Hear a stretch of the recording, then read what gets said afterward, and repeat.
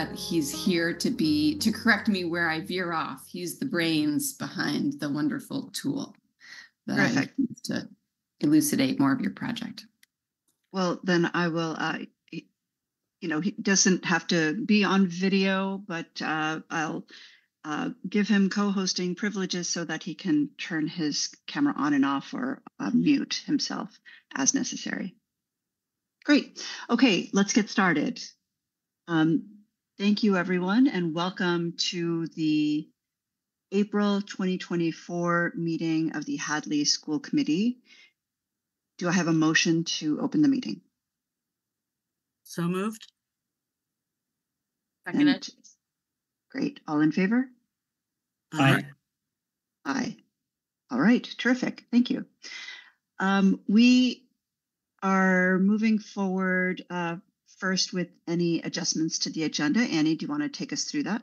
Sure. Uh, one, I would request that after the presentation on the field trip that Mr. Burns will give the school committee, that we invite Sarah Ross uh, to present, which is item 4D. So we just move that right afterwards to respect their time. Go from A to D, and then we can go in order from there. Um, what's been added to the agenda uh, under donor res- recognition, also uh, the discussion of HES Playground, I've added the resource, the district policy FF, which was on the last agenda, and I've added information on school choice enrollments. Those are the only adjustments. Great, thank you. All right, uh, moving then into public comment. Um, this is a time where members of the public can uh, comment for up to three minutes on any of the items uh, pertinent to the agenda. Um, if you're interested in making a comment, please raise your digital hand and we will unmute you.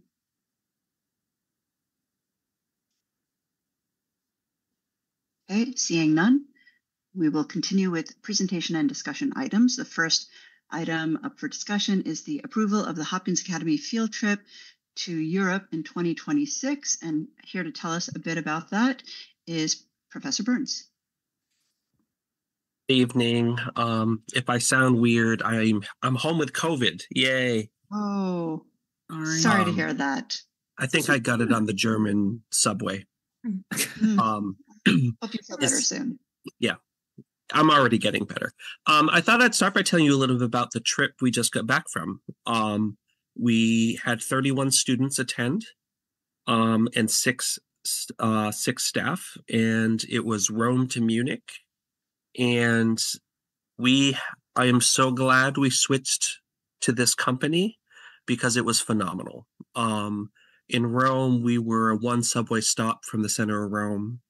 Um, so we were able to get places quickly. In Innsbruck, we were a five minute walk from the center. In Florence, we could see the Duomo from our hotel, and it was about a three minute walk up to the central square. Um, Munich, we had a slightly further um, subway ride, but it was still very reasonable. And what's nice about that is we were able to give the kids a little more freedom in the evenings to explore and to see things and really immerse in the culture. Um, and they had a blast. Um, frankly, there were a lot of tears by chaperones and students when we get home because we didn't want to come back. Um, so I, while I know this company is more expensive, I think, I think it was worth it big time. Um, and one of the meals were phenomenal. The hotels were phenomenal. Um, and the immersion activities, the Bavarian dancing, we learned how to do Bavarian dancing. There are videos out there that you'll probably see eventually to our chagrin. Um, we just had a blast. Um, so our, our next one, we like to get them on the calendar right away to give families as long as possible to be able to, to sign up and make payments. Originally, we looked at Spain and Morocco, and we realized we, we've changed our minds, and there's a couple quick reasons I can share why. One is cost. Um, we realized that we we're trying to move to February, so we don't always hit baseball and softball. But some very helpful people pointed out to us that February break is when basketball tournament usually is. So that's we can't control that. Um, whereas April break, we're early in the seasons and the AD can be much more forgiving when it comes to scheduling things. And we don't want, we, we didn't want to exclude all the kids that play basketball because they might have a great season. Um, by switching to April, the cost for Spain and Morocco went up significantly and higher than we even we're comfortable with. And as we looked for, further into travel times, everything on that tour took five to six hours to travel between, which meant we were going to spend the equivalent of an two whole days, two whole days on planes and two whole days on buses. And we were like, we're not going to ask families to pay $5,000 to sit on a bus and a plane. Um, so we started looking at other options, and what we've come up with is Venice to Prague. Um, although we may switch it to Prague to Venice, we, we're working working out those details because we realized with this trip, the Italians are still laid back, and the Germans are not. Um, we love Germany, but it would have been better to start in Germany and then end it in the chill place. um, but anyway, so the I believe the cost of this one before discounts and everything is fifty four hundred dollars. It's ten days. That includes everything, including tips. Nice thing this company does. I don't have to carry three thousand euros with me to tip everyone. They just take care of it. Um, there's a window if families sign up early, they get I think it's a three hundred dollar discount most of our people signed up that early last time. Um, they can make monthly payments. Um, they have uh, money to help families. It, it's in the materials there somewhere um, who are lower incomes. And we are going to try this time to do some fundraising um, to defray at least the cost of maybe the bus to the airport. Um, what makes it hard is because the kids signed up in such staggered things it's hard to fundraise with five kids that have signed up um, so we're going to kind of do our fundraising separate from the kids and just kind of target the general community and say we're raising money for international travel um, maybe do some we're right now we're thinking of doing some trivia nights or something um, with the hope of raising enough to cover the bus to the airport because buses to airports cost a lot of money. Indeed, they do. Thank you, Jason. It was a delight hearing about this most recent trip, and uh, I can't wait to see some of the video videos and photos that you're referring to. Uh, and thank you for taking into consideration some of that um, that extra time that would have uh, been required uh, in the Morocco trip and designing something that is a little bit more friendly. Um, we've we've we're at that point in uh, in inflation and and and pricing where we've exceeded that 5k barrier, haven't we? Yes. Um, and that is, uh, I can imagine that that might be that might feel daunting to some, but um, you you've shared a bit about the some of the fundraising strategies. Generally speaking, what is the philosophy if there's a family that's you know it's got a pretty big gap? Uh, do you know how do we get there? Is there just I would love a little bit of your uh, wisdom in uh, how we try to make that happen for everyone. I could. I'm going to defer to Annie because I know she's working on this. Yeah, great. Jason, so we are in communication. I know this is a priority for the school committee and for our teachers. They don't want cost to be a barrier. However, um, and with that in mind, I'm working right now with the school committee's attorney to see what options are available um, in terms of um, having uh, financial aid type programs, what those should look like. And so I'm working with the attorney to come up with uh, procedures for that that she's approved. So I don't have those right now, but we have to, there's a lot to take into consideration um, in terms of making sure that it's completely fair and everybody has access to it. Um, once we have those procedures landed on, I will bring those before the school committee. They don't require school committee vote, um, but it's just so the school committee can weigh in and ask additional questions. Great, thank you, Annie. Any other? If, can I add one more thing? Yes, I just wanted to add there are cheaper companies. Um, we used to go with EF. And the reason I switched was because the last trip to France, frankly, we stayed at some truck stops um, in the middle of nowhere. Um, and I didn't feel comfortable safety wise, but also there was literally nothing but a McDonald's and a hotel and the highway. And I'm like, families, while it may be cheaper, what kind of experience is that? You're sending your kid to Europe.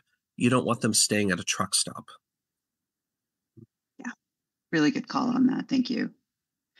Any other questions for um, Jason Burns or uh, Annie on this trip?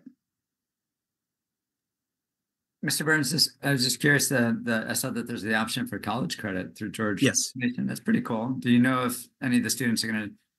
I do not know. I I had some parents ask me, and I think it may already be included in their price. Like Yes, I I have to double check that. Yeah, Um, I've been encouraging it. They the main part of the work is go on the trip, Yeah. and then they just have to do a few little assignments. gotcha. It's cool. That's excellent. Yeah. Of course, as always, if you're short a chaperone, let me know. Um, We never seem to struggle finding chaperones. I, I yeah, I, I figured that, but I'll, I figured I'd just throw my hat in the ring Okay, there. thank you. Um, and then just, you know, make sure that enough people and, you know, come in to the meeting and let us know what you have going on for uh, fundraising so that, you know, we can get as much community support as possible because, you know, I think people are really in favor of helping kids get, you know, get to go on those trips. Yeah, I will uh, keep you posted. Great. Any further discussion? All right, I'll entertain a motion to approve the um, 2026 field trip as presented. So moved? Seconded. All in favor? Aye. Aye. All right. Mr. Burns, and also Mr. Burns was scheduled to um, present, but even the topic's still a great one when we get to the open house agenda. I don't know, given how you're feeling, but when we get to the open house agenda, um, Senora and Mr. Burns had put together a workshop for families on service learning and international travel opportunities when you attend Hopkins. So thank you also for doing that, Mr. Burns. We appreciate it. You're welcome, and thank you. Thanks. Thank you, and Feel hope you feel better soon. Thank you. It it's getting better already.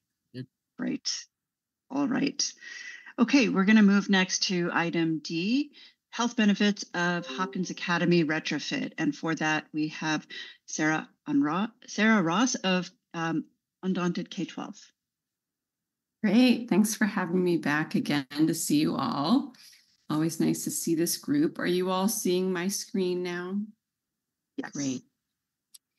Um, so I continue to be very excited about the work that you guys are moving forward on your facilities. And I continue to talk about the great work that you're doing to others across the state and the country. And I continue to think about you as I travel the world. And one of those moments was when I ran into this new great tool that the Harvard School of Public Health, along with some collaborators at Boston University and Oregon State, uh, Brian's going to correct me if I'm wrong on any of that, put together um, to help building owners understand the health and climate benefits of some of the work they may be doing to move towards cleaner sources of fuel as you all are doing. So I thought, let me let me test drive this new tool with one of my favorite buildings, your building in Hadley. So these slides basically go through, you know, I'm introducing uh, to others about you in these first two slides and the, the study that you've been doing to figure out how to um, advance your building facilities.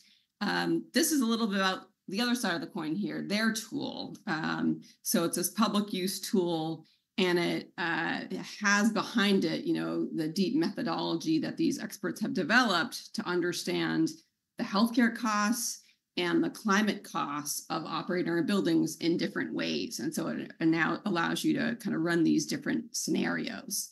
And so that's what I did for your building, given the publicly available data that we had from that great report that you all worked with your utility on.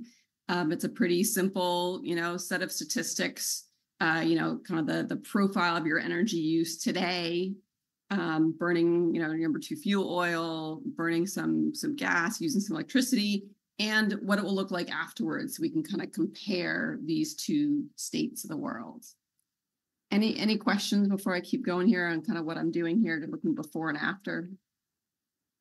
No, Sarah, I'm you- excited. Please continue, Sarah? Paul. Sarah, you pulled those data from data Chris had given you? These are data that were in the, um, this report that Mass Save. Oh, right, gotcha. Did. Your scoping study gave me all the data I needed to just plug it right into their pretty simple tool, which is online. Gotcha. And so it gives us a nice picture of kind of the before and after. Um, and these, this is kind of the summary picture, you know, and, and whether after twenty twenty-five or twenty twenty-six, you know, there's a little number in there the year, but the idea is but the before state and the after state is really the point. So you're looking at your energy footprint before and after, using a lot more energy, becoming more efficient. Um, that's that first row. Uh, the second row here, the emissions footprint, you know, um, emitting 338 metric tons of greenhouse gas emissions before, and then you'll see, you know, drastically reducing that. Um, the air pollutants, you can't see a number, but it's just because the units are so small. There is a nice change there that you'll see in the graphics.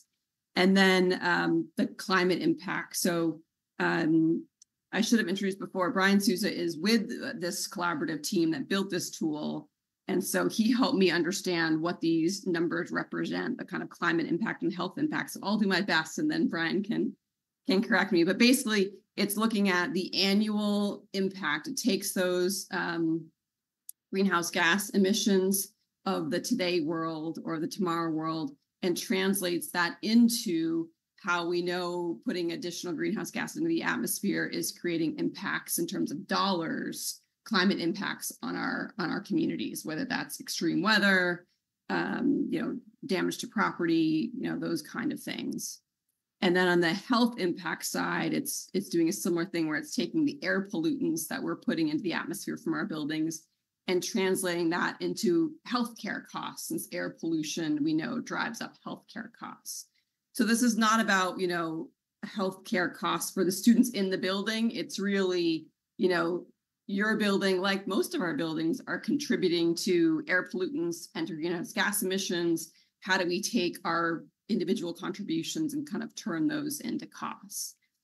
And so these are annual numbers and you're seeing how they you know dramatically fall uh, when we make these improvements to your building. So that's pretty cool.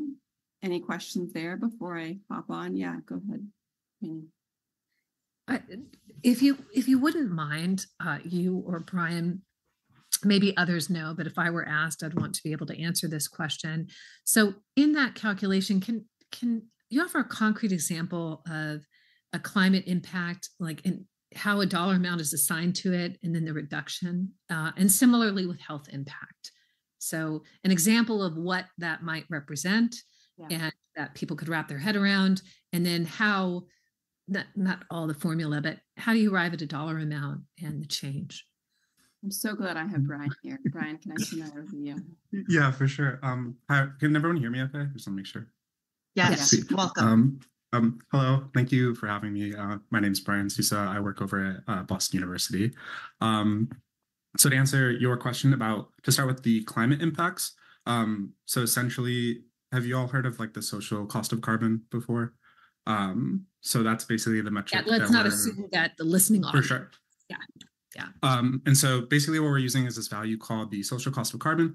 And essentially what that value does is it looks at the um, the impacts that are associated with climate change. So um, sea level rise, uh, impacts on uh, agriculture, uh, heat waves, um, and things like that, and the um, basically the impacts that those will have on our society and and associate or and therefore like the economy um, and puts that into a dollar value. So what you're able to do is for every um, ton of say like carbon dioxide that you emit into the atmosphere that is associated with a increased risk of um, of worse climate change impacts and then based on those economic damages from climate change able to associate a dollar value per that ton um, is that is that clear Yeah, I think so. I'm just going to say it back to you really quickly. And again, a lot of people watch school committee and we're grateful for that. And this project's really important. I know people in town want to understand it.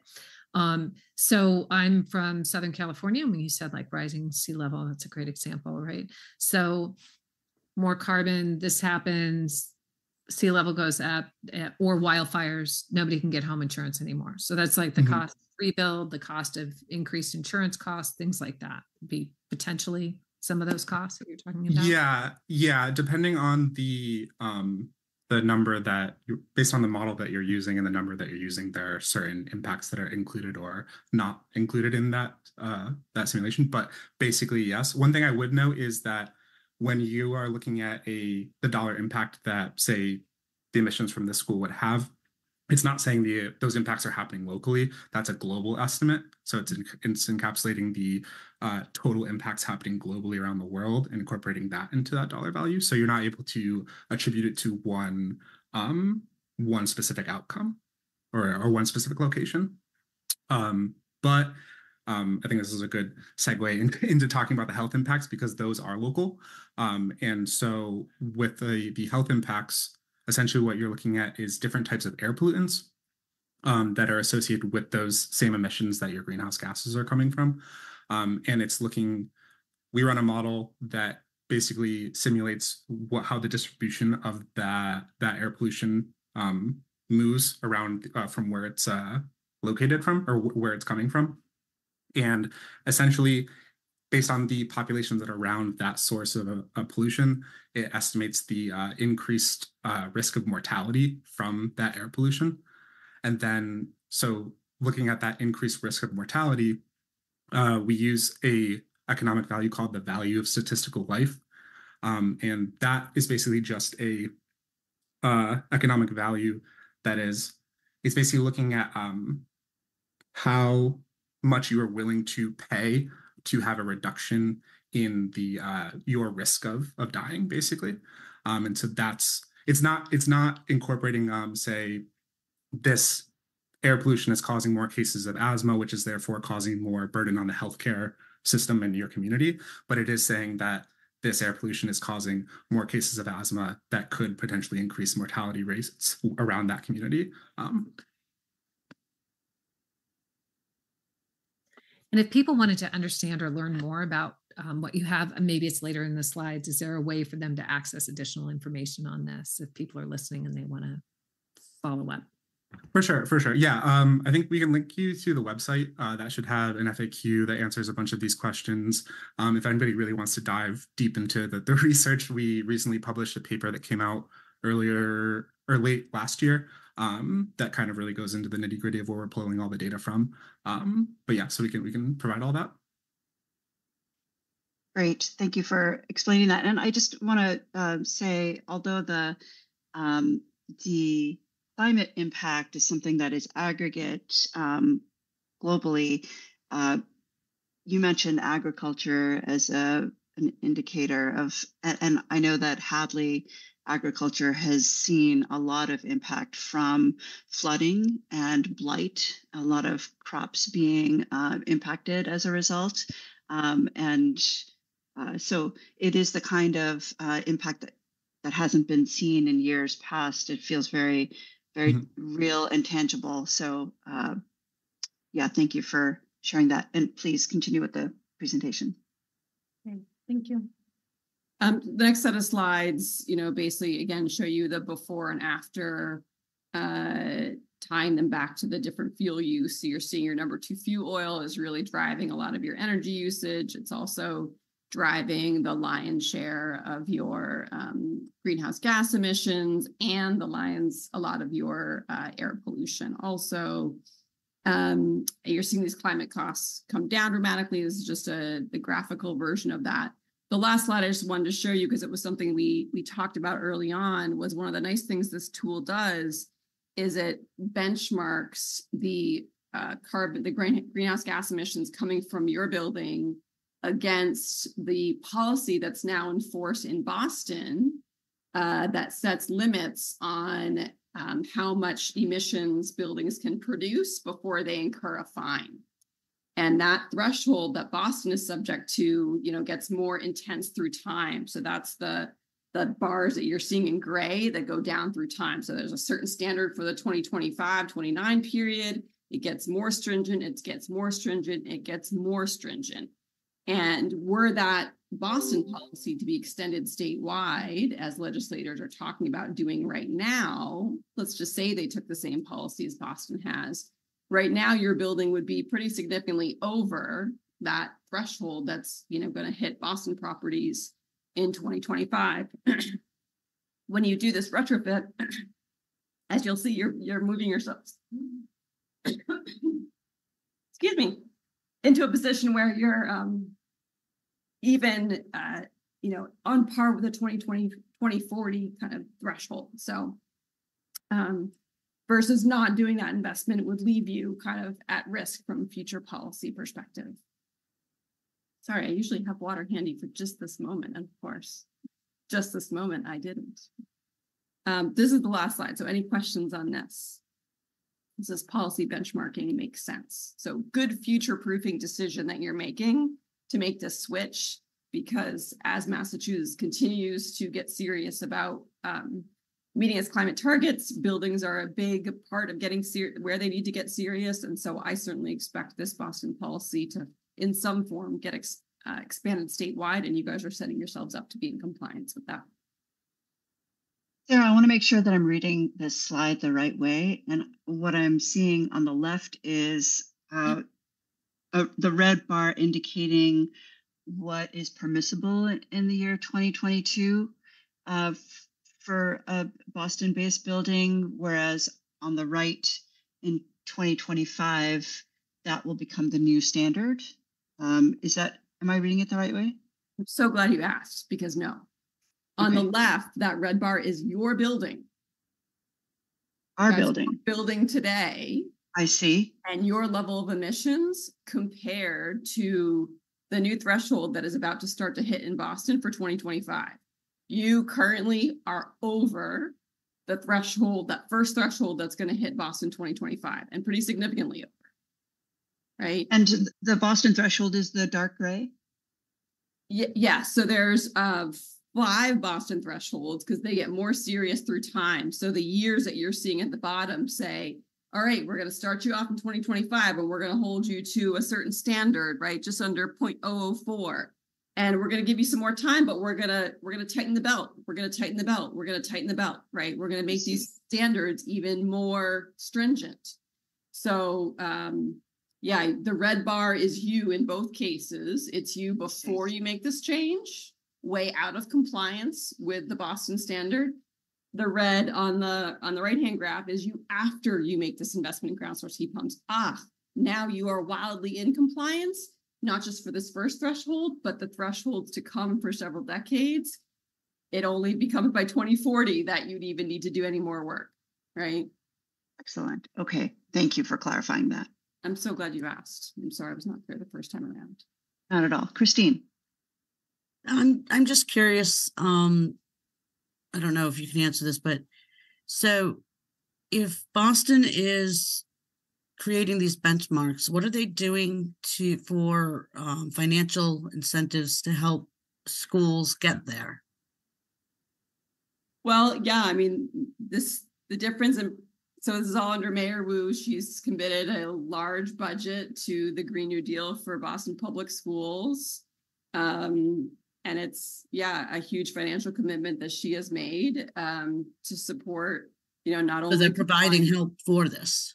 Um, they they are providing. I mean, this is all in kind of city budget negotiation, so I'm not an expert on it, but but yeah, this is um this is part of her commitment to help the uh it looks like Brian wants to jump in and, and help me Right. out here.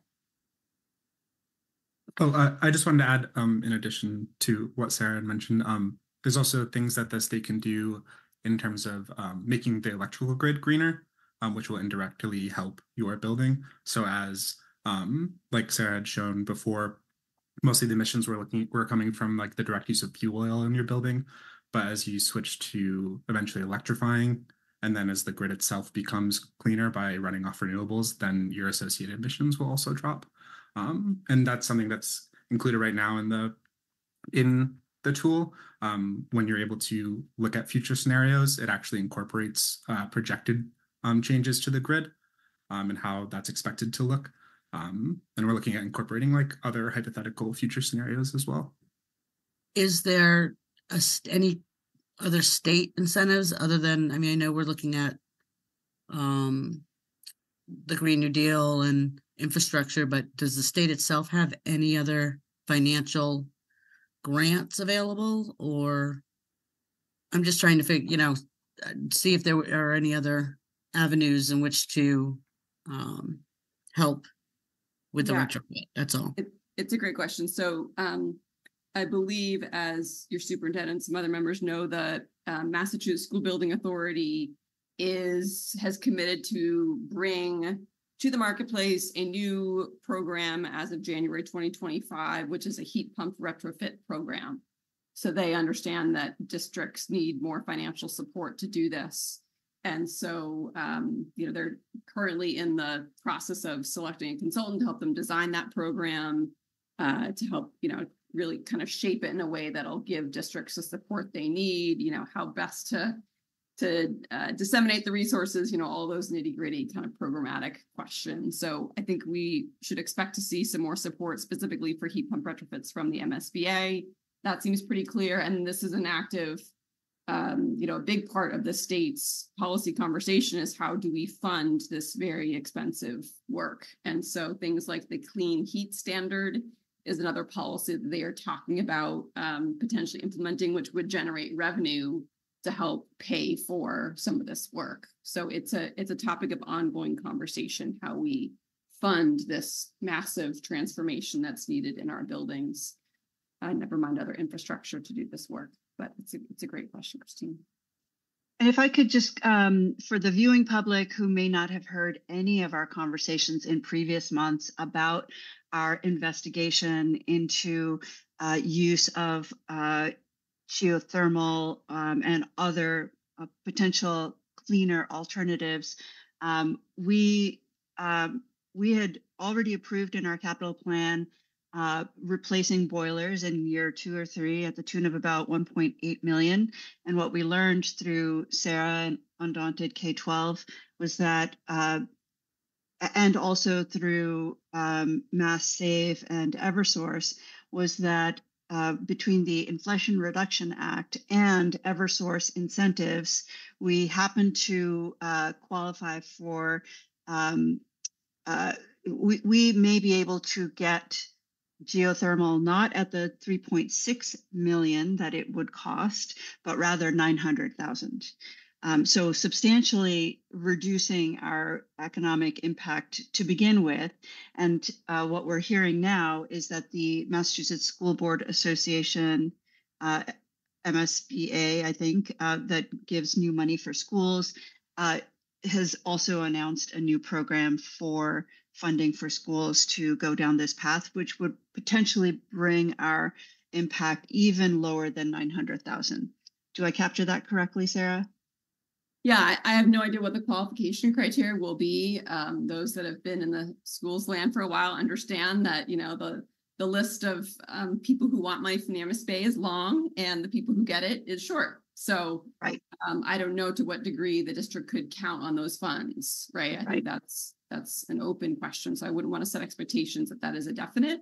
I think that the IRA money is is there for you all and does not require you to compete.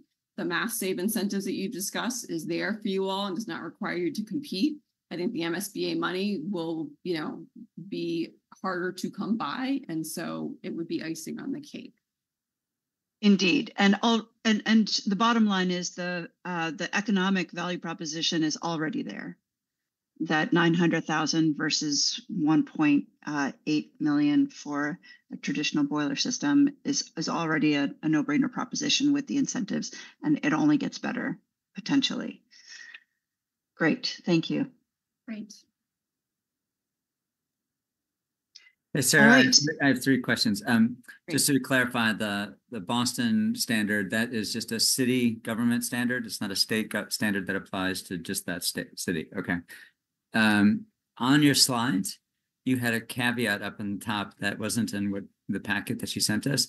Do you Oh. include, do, does that include the on-site solar? Or we talked about that, the note?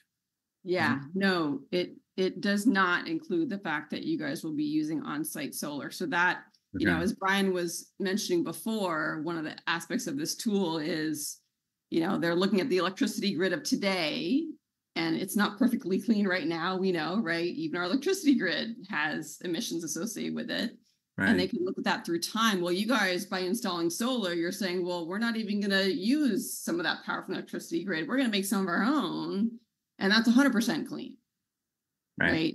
That is not integrated into this. So the story is even better than the one you are seeing here. This story assumes that you're getting hundred percent of these elec- electrons, you know, from, from that grid, uh, in its, in its current dirty, clean, in transition form. gotcha. Okay, thanks. And the third question maybe is for Annie and Chris, if he's on. Um, what is the status of that exploration into the geothermal and, and such? Uh, Chris, you want, or I can say, I believe that you guys selected uh, an engineering and design firm. Is Chris on the call? He is on the call. Yes. Yeah, I'm right here. Okay, we select, you guys selected the firm. And uh, Chris, do you want to pick up where they're at with the work at this point? Sure, yes. Uh, So I put together the contract. We both signed it. It's all sent out. They are coming tomorrow morning for their first walkthrough of the building. Awesome. Thanks, Chris. Thanks, Annie. Okay. And thanks, Sarah and Brian. Really appreciate that readout. It's really helpful information. Great, pleasure. Hopes to give you more context and Yeah. additional motivation as you go down this path. It's Definitely work. some way to quantify the benefits. Appreciate it. Any other questions for Sarah and Brian? Thank you. Excellent. Thank you very much. Yeah, thank you. Thank you too. All right, we're going to move forward with the remainder of our agenda. If I can just pan over to it. Okay, we are uh, on item B, Hopkins Academy Fields update. And for that, we have Chris here. Okay, yes, here I am back again.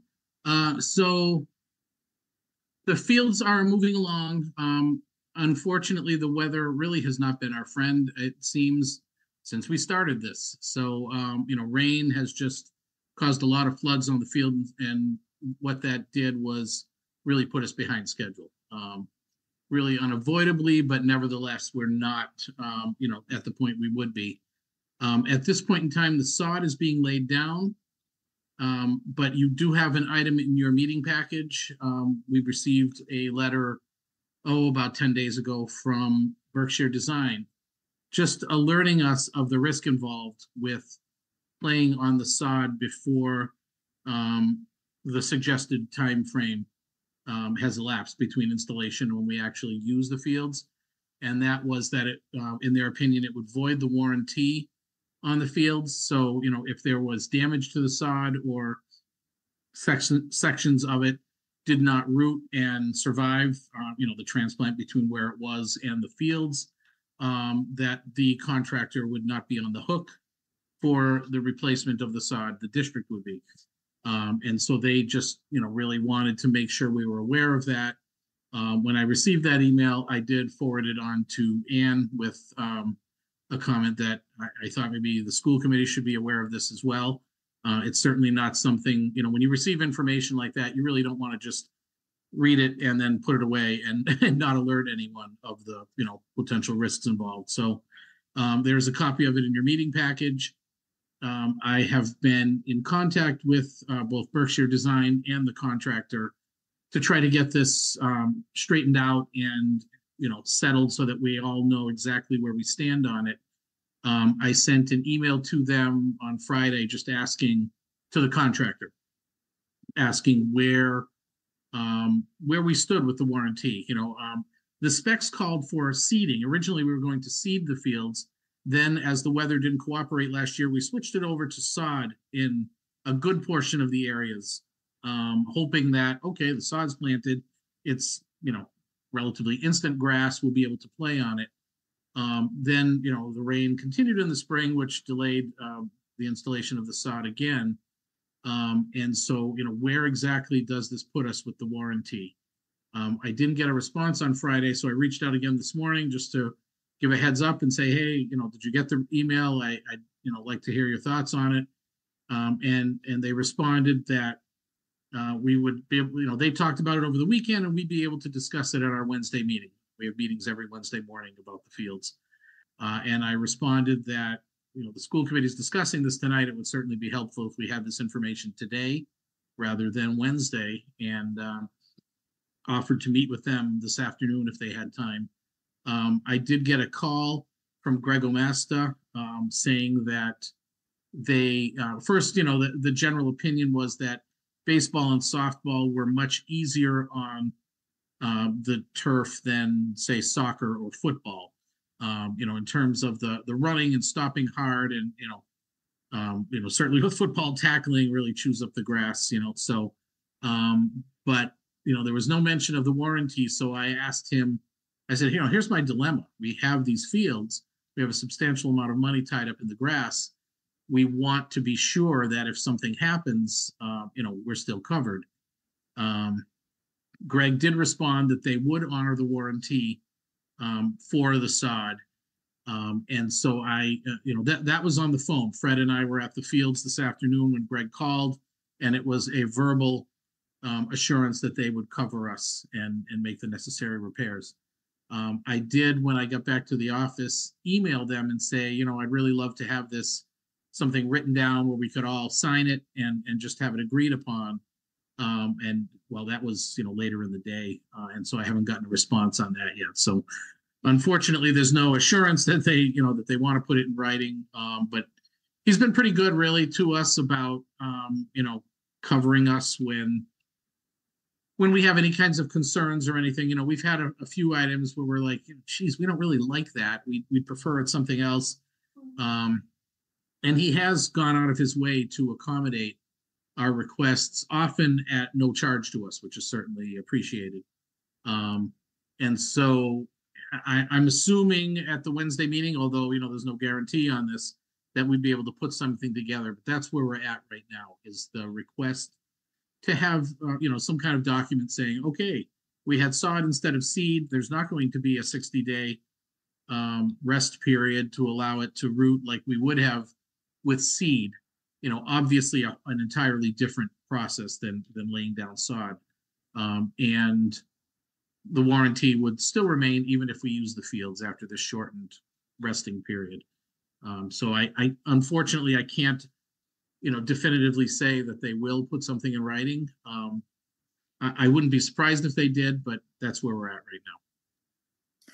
May I just add, so I think what we are trying to get to from here, uh, Chris and I both want to thank Omasta. As Chris pointed out, they're an excellent company, a local company. They've done a lot of work for the schools in the town, and we're extremely appreciative of how they always try to go above and beyond to work with us. The idea of having something clearly written out is so everybody is clear on what is being promised or not promised. And then we'd ask uh, the Dupre, Kim Dupre, to take a look at it, the school committee's attorney. Just again, this is to make sure that everybody's understanding what's being agreed to.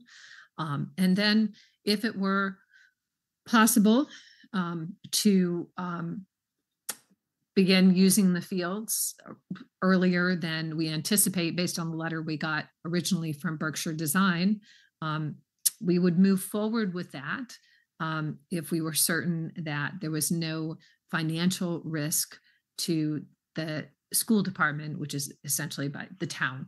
Um, and so that's what we would be looking for. But right now, as of today, in this moment, they're not ready, and we're trying to work toward uh, a resolution. We just don't have that right now.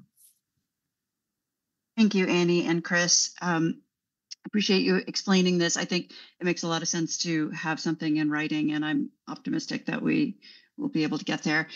Uh, if we if we don't, what are what is what is the potential implication for um, plans that we had for those fields this spring? So Fred has um, moved originally scheduled, I should say, all of our home games in May and early June rather than spread out throughout the season, really just to allow for um, you know the fields to actually get the grass to uh, to root. Um, what it would mean is, and I know that Fred's been looking for alternate fields to play on. Um, you know, if we could use any other fields um, in another town. I know he looked at UMass trying to rent the field from them for our games as well. Uh, he's met with very little success. So if we're unable to use the fields, then we would have to have it where every game uh, this season would be played away, even if even if Hadley was the home team in the game, as far as you know the batting order, um, they would still be played at the opposing team's field. Um, so you know, of course, there there are costs involved with that for us. I mean, obviously, we would have transportation costs that we normally wouldn't ex- expect to have, um, but that that would really be where we're at at this point in time. The other question I have for you, Chris, is what is the financial exposure of having to replace the sod? And is it just the sod that is potentially at risk uh, by using it before that 60 day period? Or are there other aspects to the design that are also potentially null according to Berkshire Design's uh, letter? So when we did the sod, we went out, um, I believe it's three hundred and thirty feet in the outfield, uh, left and right fields, three hundred and fifty feet to center field, which, you know, that's, the you know, we're talking Fenway Park size, or actually even a little longer than Fenway Park in some spots. Um, so, you know, the assumption is that no balls are going to be hit further than that. That's where the sod ends and the seeding starts. So again, the assumption was that, well, there's not going to be um, outside of the occasional stray ball that might roll there or something, there's not going to be a lot of foot traffic in, you know, the seeded areas. So we, you know, we wouldn't have to worry about that. Um, as far as, you know, we, we also asked Berkshire for, you know, an opinion on, well, if we say put sod on the baseball field and use that and also put sod as we replace the infield of the JV field from phase one, what if we didn't use the JV field, but we used uh, the varsity field only. Um, that was a little tougher question to get an answer for. Um, you know, they asked around their office and they really couldn't give us an answer other than, you know, it's kind of hard to prove where kids were and where kids weren't, you know, so um, it, it, it would pretty much, you know, it, it's a tough call as far as that goes. Um, but you know, that, that was the plan when we switched to the sod in these general areas is that we're going to make it big enough where it would be the size of a regular baseball or softball field. Um, as far as the financial exposure, I mean, the total cost of the sod is around because we've we've added and subtracted in areas, but I would say it's around one hundred eighty thousand dollars. Thank you, Chris. Um, we have a couple of questions. Um, I uh, I know Joyce's hand was up first, but Joyce, if you could hang tight, um, I'd love to get our school committee perspectives out here first. Christine? I, I guess my question is, so weather permitting and base, you know, best case scenario is the sod goes down and we play on it. What happens if we run into weather like we had last year? What is that going to do to the fields? You, mean in terms of if it's swampy like like it was last year? Uh, there's a number of things. First of all, the drainage in the fields, um, especially in the areas where it was swampy, was actually doubled from what we had last year. So we had drain lines every 20 feet. Now we have drain lines every 10 feet. Um, we also did significant work, which apparently was the cause of part of this problem, um, to the uh, drainage culvert that runs along the side of the field all the way down to Bay Road, I believe. Um, and a lot of work was done to that, and it was great when we walked out to see it after they basically dredged uh, that trench to see that the water was running away from the field. Uh, prior to that work, the water level it was kind of stuck because there were so many higher areas of silt and weeds that had grown there that it was acting kind of as a dam, and so the water was actually flowing back into the fields um, rather than flowing away from it. So all of that is is obviously being addressed. Um, but if it came down to say using the varsity field, which is at the far corner of the field and has much better drainage than you know the the corner where the JV field is, um, that would be an incident where we'd have to take it on a game by game basis. And you know, if Fred walked out, I mean. Fred doesn't want these uh, fields to get chewed up, you know, any more than any of us do. So that would be a situation where he would have to check the field, see the conditions and call it accordingly if it was needed to be.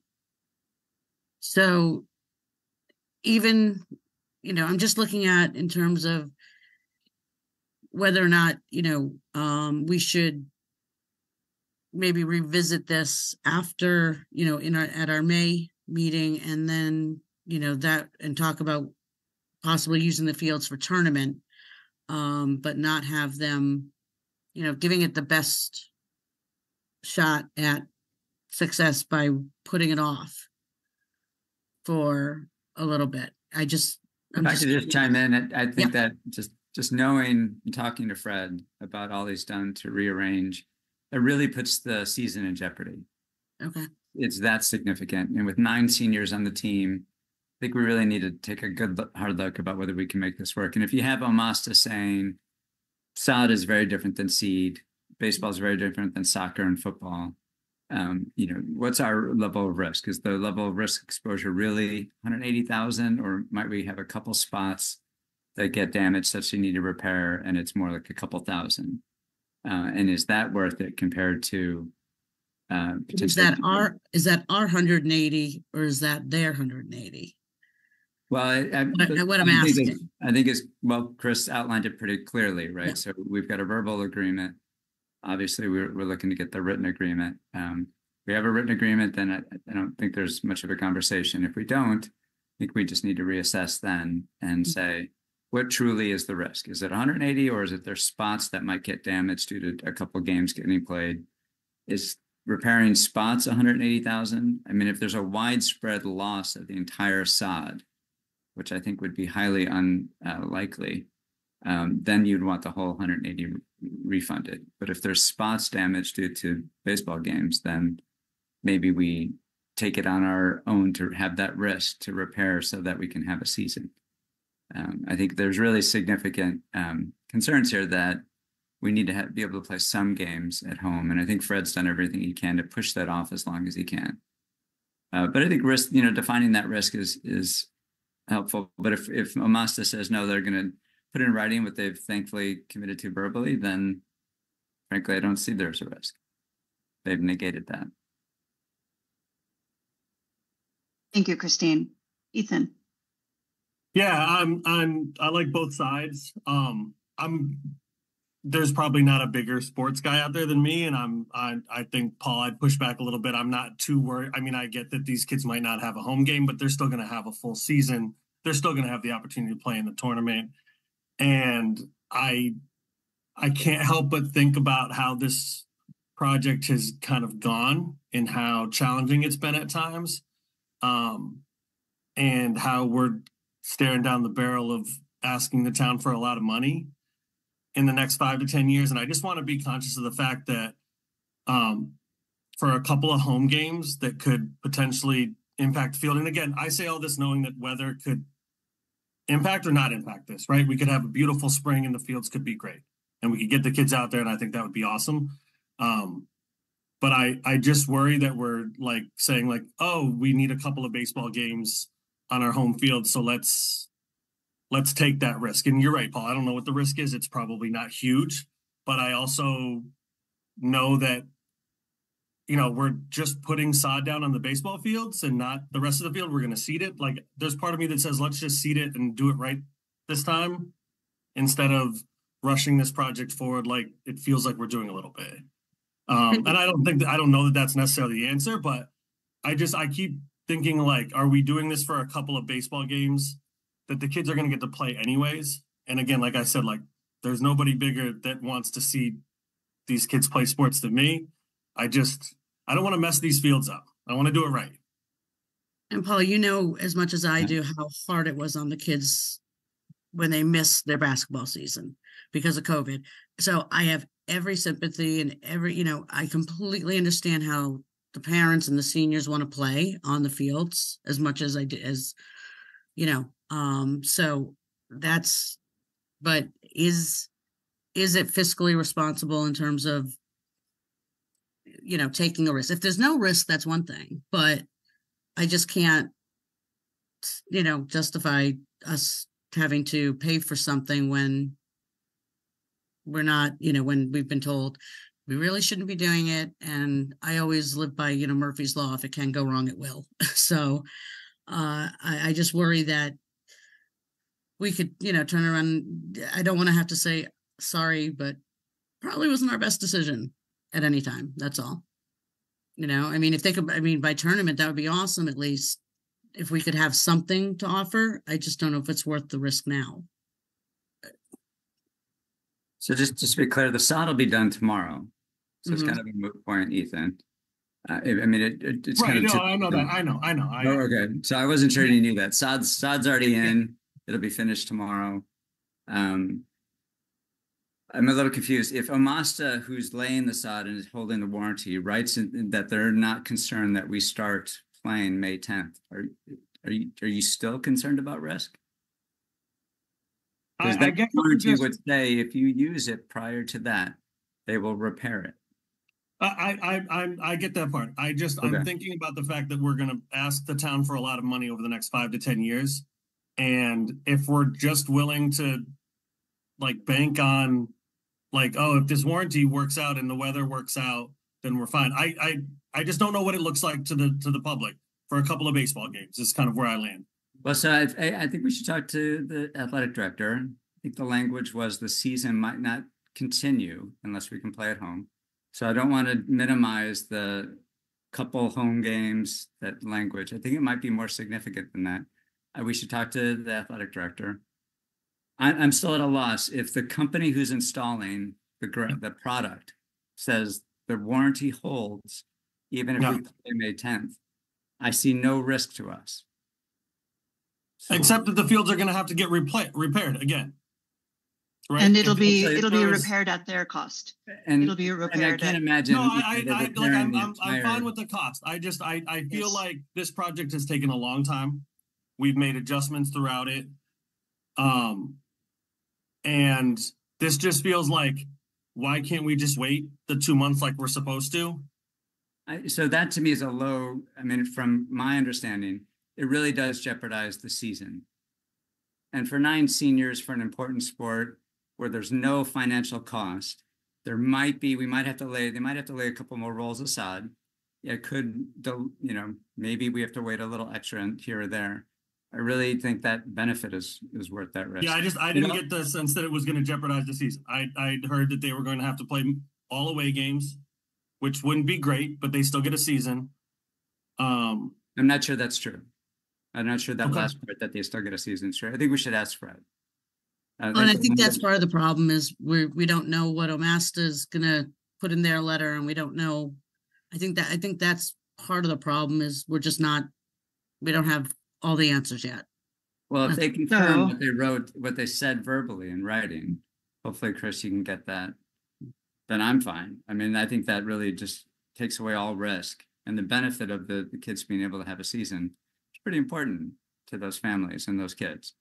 I really think, honestly, too, if we said, no, we're not willing to take that risk, I think you'd have nine families in your office saying, come on, that's a really low risk. Can't you just, can't we just accept that risk? Uh, when the company's already saying that they'll warranty it if you start playing and they'll repair it with no cost. It's pretty yeah, good. Paul, I, I tend to agree with you that if Omasta can put this in writing and it, uh, it essentially obviates what Berkshire Design is saying, that they're, Right. that, they're- that it would be warranted, then it, there is a case that we may, it, it's a manageable level of risk. And I, I, I truly understand, uh, the perspectives of all, this has been a project that has taken so long and we are almost at the finish line. Uh, It's had its bumps, uh, irrigation wise, and with all this rain, this rain is not going away. This is a new normal in terms of uh, climate impact. So uh, we're almost there. It sounds like there may be a viable solution. Let's um, make sure that uh, what we mean about the level of risk for the baseball season and Chris, uh, Desjardins and Annie, if you could close the loop in terms of that letter in writing and also finding out what that impact is to the baseball team. Um, let's revisit this in May. Hopefully, we won't have to revisit it. If there's a letter and the uh, school attorney is like, "Yep, you're you're clear," then we shouldn't have to. But uh, but worst case, we'll revisit in May. And. I Is Are Fred, good? Yes. is Fred good to go at least for the beginning of the season? If, if Well, that's the to wait, question. That, that's the question, right? So if the first home game is May tenth, we need to decide before that. We should decide next week after we hear from Omasta. I But think I also think uh, we need to get that, that part of it correct, because I, I mean, there are the, there is the ability to move games, and I know Fred has been working diligently to do that. Um, I I think we just, don't- I I- don't, I I don't think we, we rush this. I don't think we should assume we know what Fred's dealing with. If we have questions about that, I, I think you laid it out well, Humera. Let's see what Omasta says. See what our attorney says. To me, if Omasta comes back and writes something that our attorney says is, uh, food, you know, obviates the risk, I'm good. I don't need to hear from Fred. If you all need to, but we, I would uh, encourage us to do that prior to May tenth, since we have a home game planned. The start of the season. We can't wait till our next, uh, school committee meeting to decide this. okay, so so, in, in, in closing about this, I would say, Annie, if you could wrap your mind around all, all of this and, and get that information. If we need to have uh, an emergency school board meeting, as we have in the past, uh, then please call us for availability early in May to bring uh, a quorum of us together to make any decisions that need to be made. Hopefully, it won't come to that. Right. So Hopefully, this this is very straightforward. This is what I hear as my takeaways. Uh, as we said, and I want to underscore how helpful Omasta has been. What we want to do is to make sure that this is clearly stated in writing, that the school committee attorney has gone over it, so that we're not hearing something Omasta is not saying. Just want everybody to be clear. They're a great business partner. We want to be fair to them. We want to be fair to us. If at the end of that, it is clear that no, the the warranty essentially that the warranty remains intact, then there would be no reason not to move forward. If the warranty remains intact, it's almost like the Berkshire letter never arrived, right? Um, I- just, I'm seeing head nods, so you're okay with that. If the attorney says this agreement is the same, your warranty is intact, regardless of what you do, um, then we would be in a position to move forward. And we would still update the school committee in May, but I wouldn't need to convene the school committee prior to that. Does that sound right? Mhm. Sounds right to me. Yes. Thank you. Can I just any- add something? Yes, please. to that, I, I just want to um, underscore the fact that, you know, asking for this to be spelled out in writing by no means constitutes a lack of trust on our part with Oh, not at all. at all. They've been very honorable with this whole process.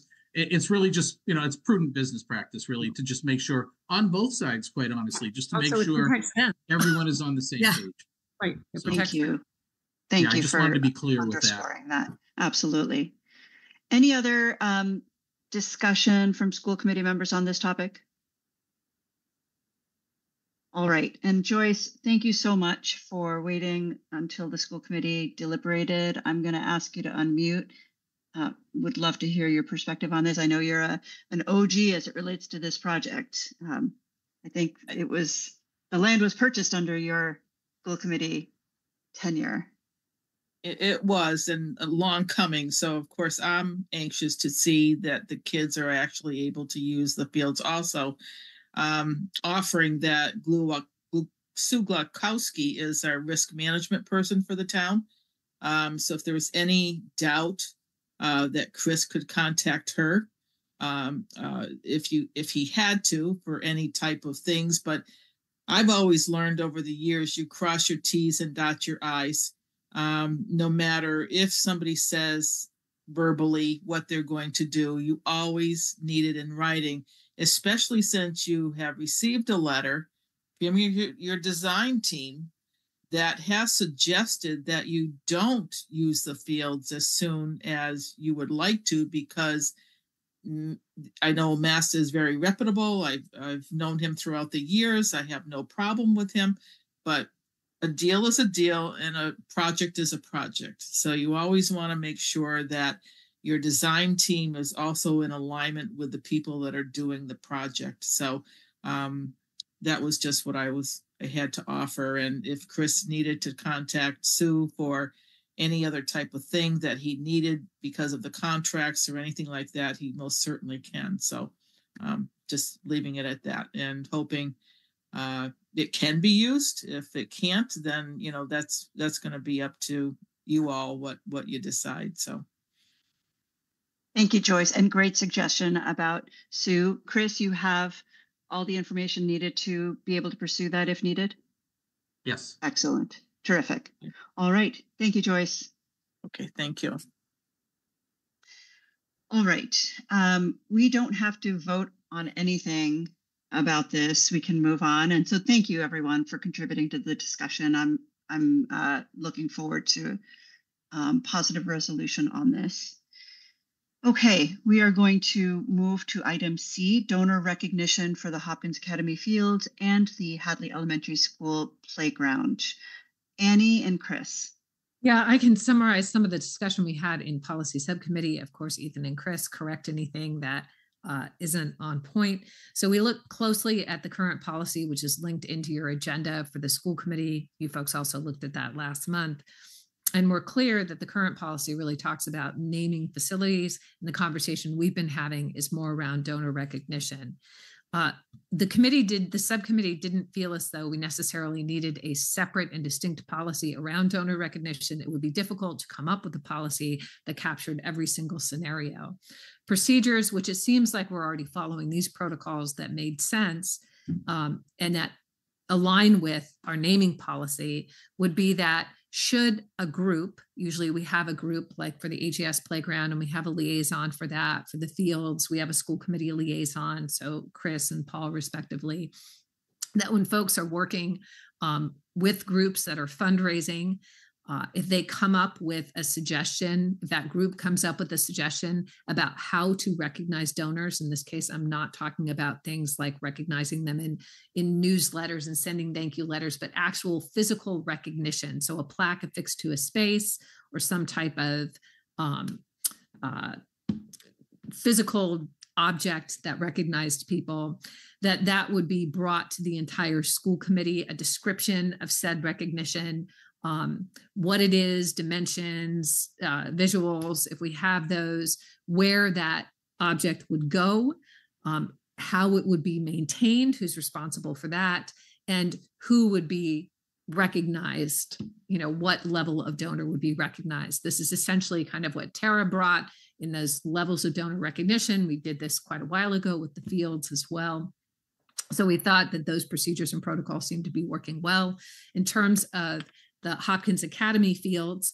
Um, again, right now it's kind of touch and go of when that first game is. I would like to say, generally speaking, that um, before there is a home game or on that day, we would certainly like to invite everybody who has contributed to bringing the fields, making that vision a reality. I invite Hadley Media to be there and verbally recognize everybody who's contributed board of trustees cpa east hampton savings bank uh, countless individual donors on and on and on and families recognize those folks i know that fred had some ideas about a way kind of a, a, a way to a physical object that would have folks names on it and when we have more information on what that might look like, we would bring that to school committee, go through those things. Here's what it is. Here's where it would go. Here's who's taking care of it. Here's whose name is on it uh, and and why. Um, and then uh, we would have a second. We would ask folks, donors, invite them back again on the fields. Donors could go to one, both, or none, and we would ask Hadley Media if they would kindly record that. So we're thinking for the field. So that's the general discussion that policy subcommittee had around donor recognition and also what we're thinking for the fields. And um, I know Tara might have some updates on the HES playground as well.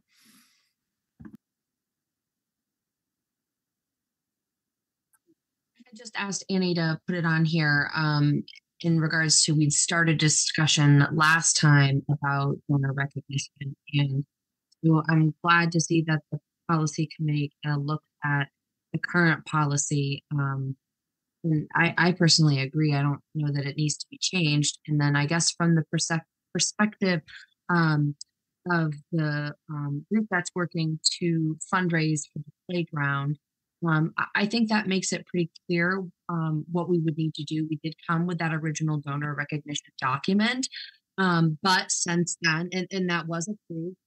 Um, but since then, um, we have um, talked about considering adjusting that. So what I will plan on doing is we actually have a meeting on Wednesday. Our next meeting is on Wednesday. Talking with the group about a little bit more specifics and make sure that we can provide all that um, um, specifics in the request that Annie just named off and bring it back to school committee. Um, and, you know, I just, I, I do want to say that I- know that, you know, something such as the fields is um, a much larger financial um, indebtment to people who have donated, but I've, you know, I've kind of started paying a little bit more attention to my surroundings. We've, we've got a plaque on the wall in the cafeteria for the mural that was done. We've got the plaque for the climbing wall um, that was done um, in the elementary gymnasium, and you know, various things done. And and uh, you know, um, I I don't think it's bad of us to recognize because again, it's the same. You know, a lot of the same people who are donating at the at the Fields project are here again donating for us at the elementary school and have in the past. Um, so I, you know, I don't think it's wrong of us to to find ways to be able to recognize them in any way, shape, or form, um, because we want to show our appreciation and and I don't think it negates any um, recognition in the past either, right? I, I think it just, you know, school committee could technically turn over. Um, you know, every three years we could have turnover and opinions change. Um, and this is where we're at right now. And I, I think it's good to say we haven't done in the past consistently. Here's where we're at now. Here's what we'd like. Um, I just think in our small community, we have a lot of people who are really, um, really gracious to the schools. So I think it, I think it's, I think it's a small token to be able to appreciate them in whatever we can. So long and short, um, I will plan on talking about that with the group and um, coming up with a little bit more specific, um, deciding on kind of what this recognition would look like and try to provide you with um, as concrete of an example um, of what we would request for it to look like and bring it back for May. Um, I have the update for everything else, but I figured I you'd want me to wait down to school committee updates down there, so I'll I'll update that later. Great, thank you, Tara. Yes, um, we should keep the scope just to the donor recognition. And thank you for that update, uh, Annie, as well. Um, and just to something that you said, Tara, I don't think that um, there has ever been um, a debate as to whether or not we should recognize donors for these two projects. I think there's what I sensed in our last meeting was strong support and just a desire to truly think about what all our options are and be, be creative in um, in how we do that. Um, so I'm really excited to see what you and the playground team come up with for proposals. I'm really excited to hear what the fields team proposes as well. Um, I could not agree with you more. Oftentimes, it's the same families and the same businesses that are generously donating. Without them, we could not do all that we wish to do or want to do. And so we are so uh, blessed, feel a lot of gratitude. And I think that visual reminder to the community of, of that gratitude is also incredibly important. So uh, it's it, we want to be really thoughtful and intentional about how, and I'm excited to do that with you all.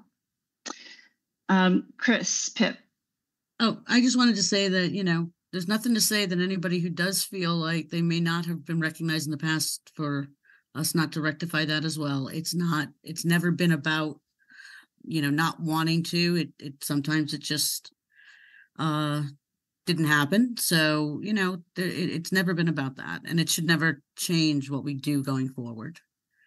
So, That's an excellent point. And if you're someone out there who knows of an instance where that acknowledgement didn't take place, um, please be in touch with anyone of our school committee members or uh, Annie or Chris. Um, we'd love to um, make sure to rectify that. Great. Can I, Okay. can I just ask, sorry, sorry, jump in. late. Yes. So, and I totally agree with you, Tara. So, um, Annie and Tara, is, are we? I just want to make sure we walk away with clear next steps. So if we, um, I know Fred and you, Annie, had talked about ideas for the fields. Tara, you all are coming up with ideas. Is that, is that how we want to do it? If I can help with any of those, I just want to know, you know, what's, what's, what's happening next. Uh, I would say on the field side, like I said, if I, if it happens that there's a home game prior to our next school committee meeting, that one thing I want to make sure that we do is that we verbally recognize it's like a mini non-ribbon ribbon cutting, right? All those people before we walk out on that field to say Okay. "Thank you so much. And then in May, if we have that, I think Chris uh, D has also been talking with Fred about um, what I'd like to present is this is this is a an idea that about how you know what this what this object looks like that we've Yeah. put donor names on and where it would be bring it to the school committee. And again i'm showing you what it is where it's going to go who's taking care of it. As i said when we recognize donors we don't want their names then to be covered with moss and bird dew. So like who takes care of it and whose name is on it and why. Um, Okay. and that helps the school committee identify any blind spots something we're not thinking of then we can just move forward with that and again, in the case of the fields, we'd invite people back again if they wanted to come, or they could watch it being recorded if Hadley Media could help us out with that. You thinking something similar, Tara, for the playground? So, yeah, so we had um in that original donor recognition, I'm really sorry. my hands. Um, So in the original donor recognition, we had planned on doing the ribbon cutting ceremony, the verbal recognition, um, a certificate um of um donor recognition that would be provided to the donor themselves. And there's kind of a tiered level out um of who would get that um and a thank you letter as well to every donor that's every level. Um, and then um, we had, I think last time I had presented um, you know, the different options, tax, um, just as the physical recognition, um, and made suggestions on kind of at what level would we consider that donation. Um, what I will tell you is that I think when the project is finished, um, it's going to be a much smaller donation list um, that would be considered for the fields. Um, as far as the sheer number. So how we recognize might look different um, than how we recognize for the fields. Um, but I, I think that I- I guess from my own opinion, each one of those can look unique to the project that's being done and doesn't necessarily represent, well, they got a plaque and I got this or whatever it may be. Um, I think they can be unique to the project. And I think that donors would be appreciative no matter how that, how that looks. So That, that's what um, we had touched upon on, in our meeting was that each project has to be addressed individually because there, there's always going to be, you know, unique changes. It's, it's not something that we can actually create a policy on, more just of like a procedure of how to address it. Um, but each is individual. Right. And project large or small, I think that's what makes it hard to put kind of that monetary restriction on it too, because you might have a project that's so much smaller that if you have an overall guideline that says we're only going to recognize you at this amount, it doesn't add up for every every, every project. So I think it I, I agree it has to be individualized and maybe project. So I'm hopeful this group that I'm working with is very creative. Um, so I think we can come up with something pretty unique and uh, creative to the playground.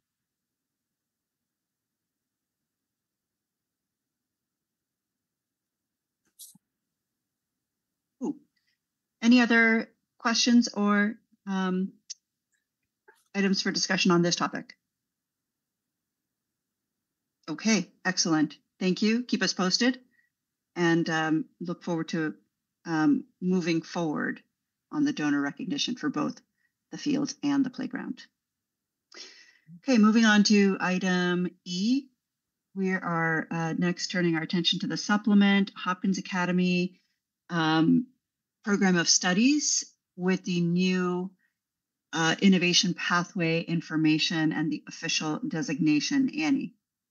Yes, so as you know, and it's been highlighted in the Gazette, thank you very much to the Gazette for providing information to the community about these new programs at Hopkins Academy. Um, we need to now add these this information to the program of studies. So as you know, we have two new innovation pathways, one in clean energy and another in information sciences.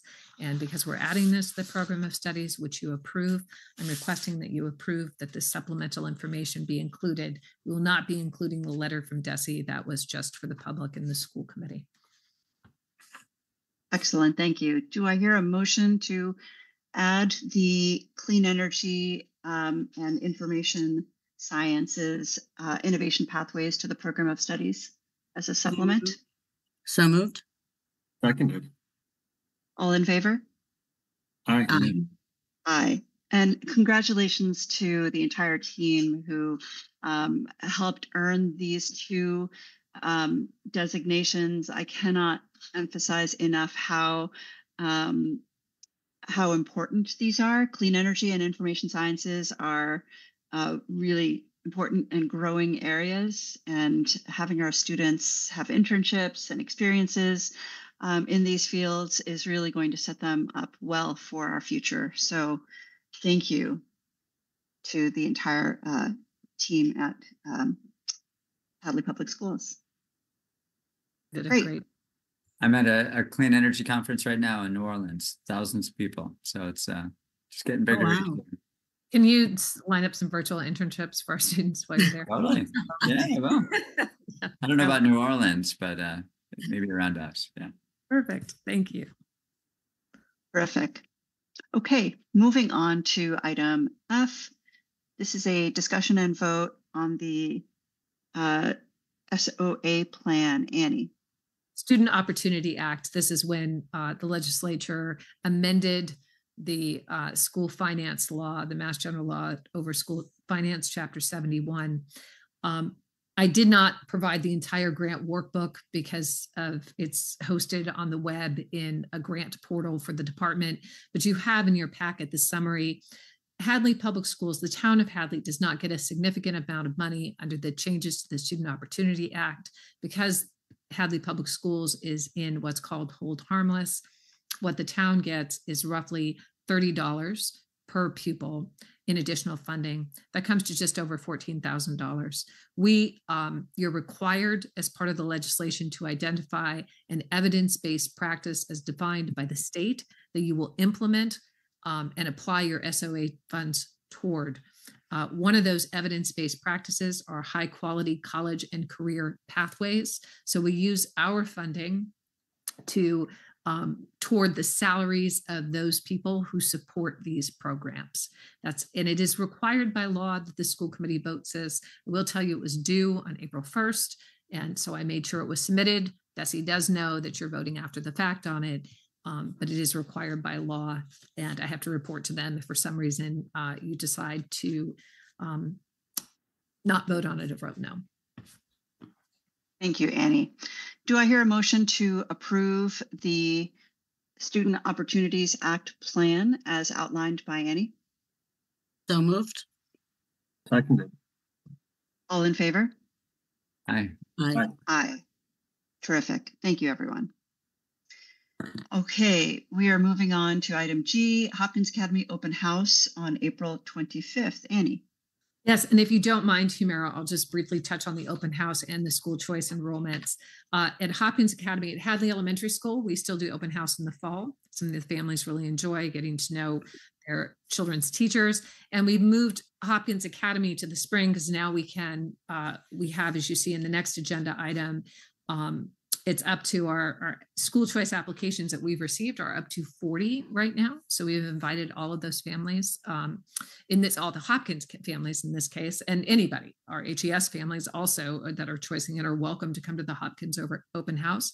We try very hard to do something different. So you see that there are different sessions that families can go to, talking about how small schools support all learners and how we are able to individualize education. We have a jazz band demo.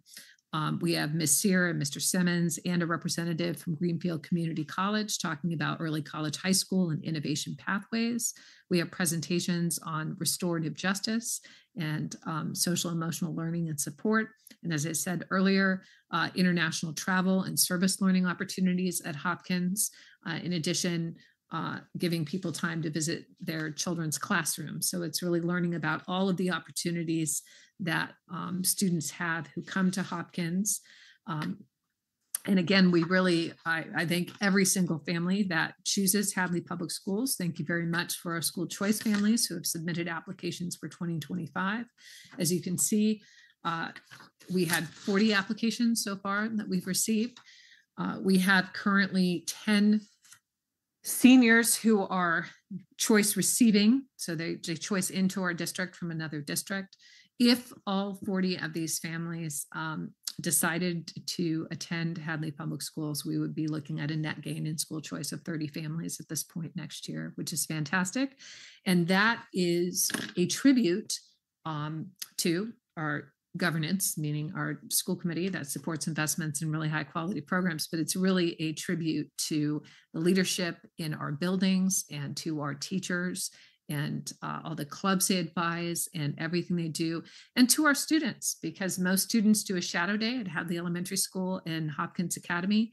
Students, um, I think when students go and do a shadow day, they're really deciding are these are these people I want to hang out with every day. And so thank you to our students for making this a place that other students want to come to. That's Thank it. you, Annie. That's excellent. 40 additional applications. That's that's a terrific uh, uh, number. And uh, this open house program looks fantastic. I think uh, I think I'm going to be attending um, because it just there's so much here that I want to learn and, and know about too. So uh, thank you for sharing that. Any questions or comments for any about either the open house or the school choice seats? One question and one comment. Um, so for the open house, did we um add present this to the sixth grade class too, or I don't even know if it needs to be considered in fifth grade for them to kind of attend and excitement. Yes, I We want to, yeah, I want to say, yes, we did do that. Um, we've done a lot, so you know, of other things like going down to sixth grade and talking to them about, here's the counseling team, here's what you can expect, here's all the clubs. So I do believe that we did, but I will double Okay. check again. It's just exciting, I think, for kids to when you, especially when you have kind of that agenda up, for kids to be able to kind of roam through and explore if, especially if they're on the fence. Um, just making sure that they know it's welcome and open um, as well. And I will be there um, representing um, the PTOs. And I'll probably be there with the Mothers Club as well. So. Both Tara and I were there last year and it was, it was very well done. Fun. Yep, it was fun. Yeah, it was great. So hopefully a lot of people will attend. Excellent. Thank you. Tara, did, did you have some, I thought you had two things. You done? Oh, those were my two things. Yeah, asking about yeah, and then Okay. that I would be there. So I, Thank I'm just curious, Annie, your perspective on the, I mean, clearly as a parent, you'd, you'd want to get your kid in early. So that's why we see such a, a jump in kindergarten. But is that the only reason? Or is there another reason why we see so many people interested in kindergarten? I would say, I mean, again, across the board, I feel as though our teachers, our schools, and our students have a really fine reputation. Um, of course, I know that I'm biased, but really, we can also think about you know some of the awards I brought in. I, I brought in. That's good. People want to come to the school district. You brought them in for English. yeah. Don't worry, I'm not teaching her kids. So Christine, is that, was that proper, Christine? Yes, I- I was dying right now.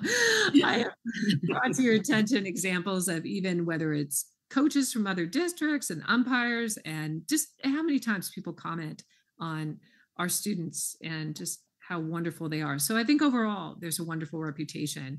And I will say, Hadley Preschool and our early ed has a really phenomenal reputation. And that is about the people, that team working there. It's about the friends of Hadley Pre K who do a phenomenal job. So I think there is a lot of energy around early ed, and that is a community wide team effort. And those parents that do all that heavy lifting in that Friends of program and um, that team. So I think that's another reason that you see a lot of uh, energy in early ed.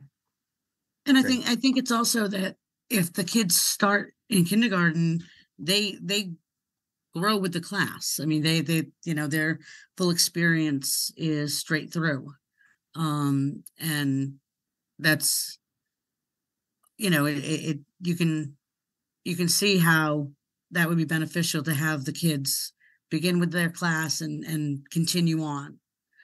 So uh, that might be the, you know some of the thinking behind starting in kindergarten. Yeah, that makes sense.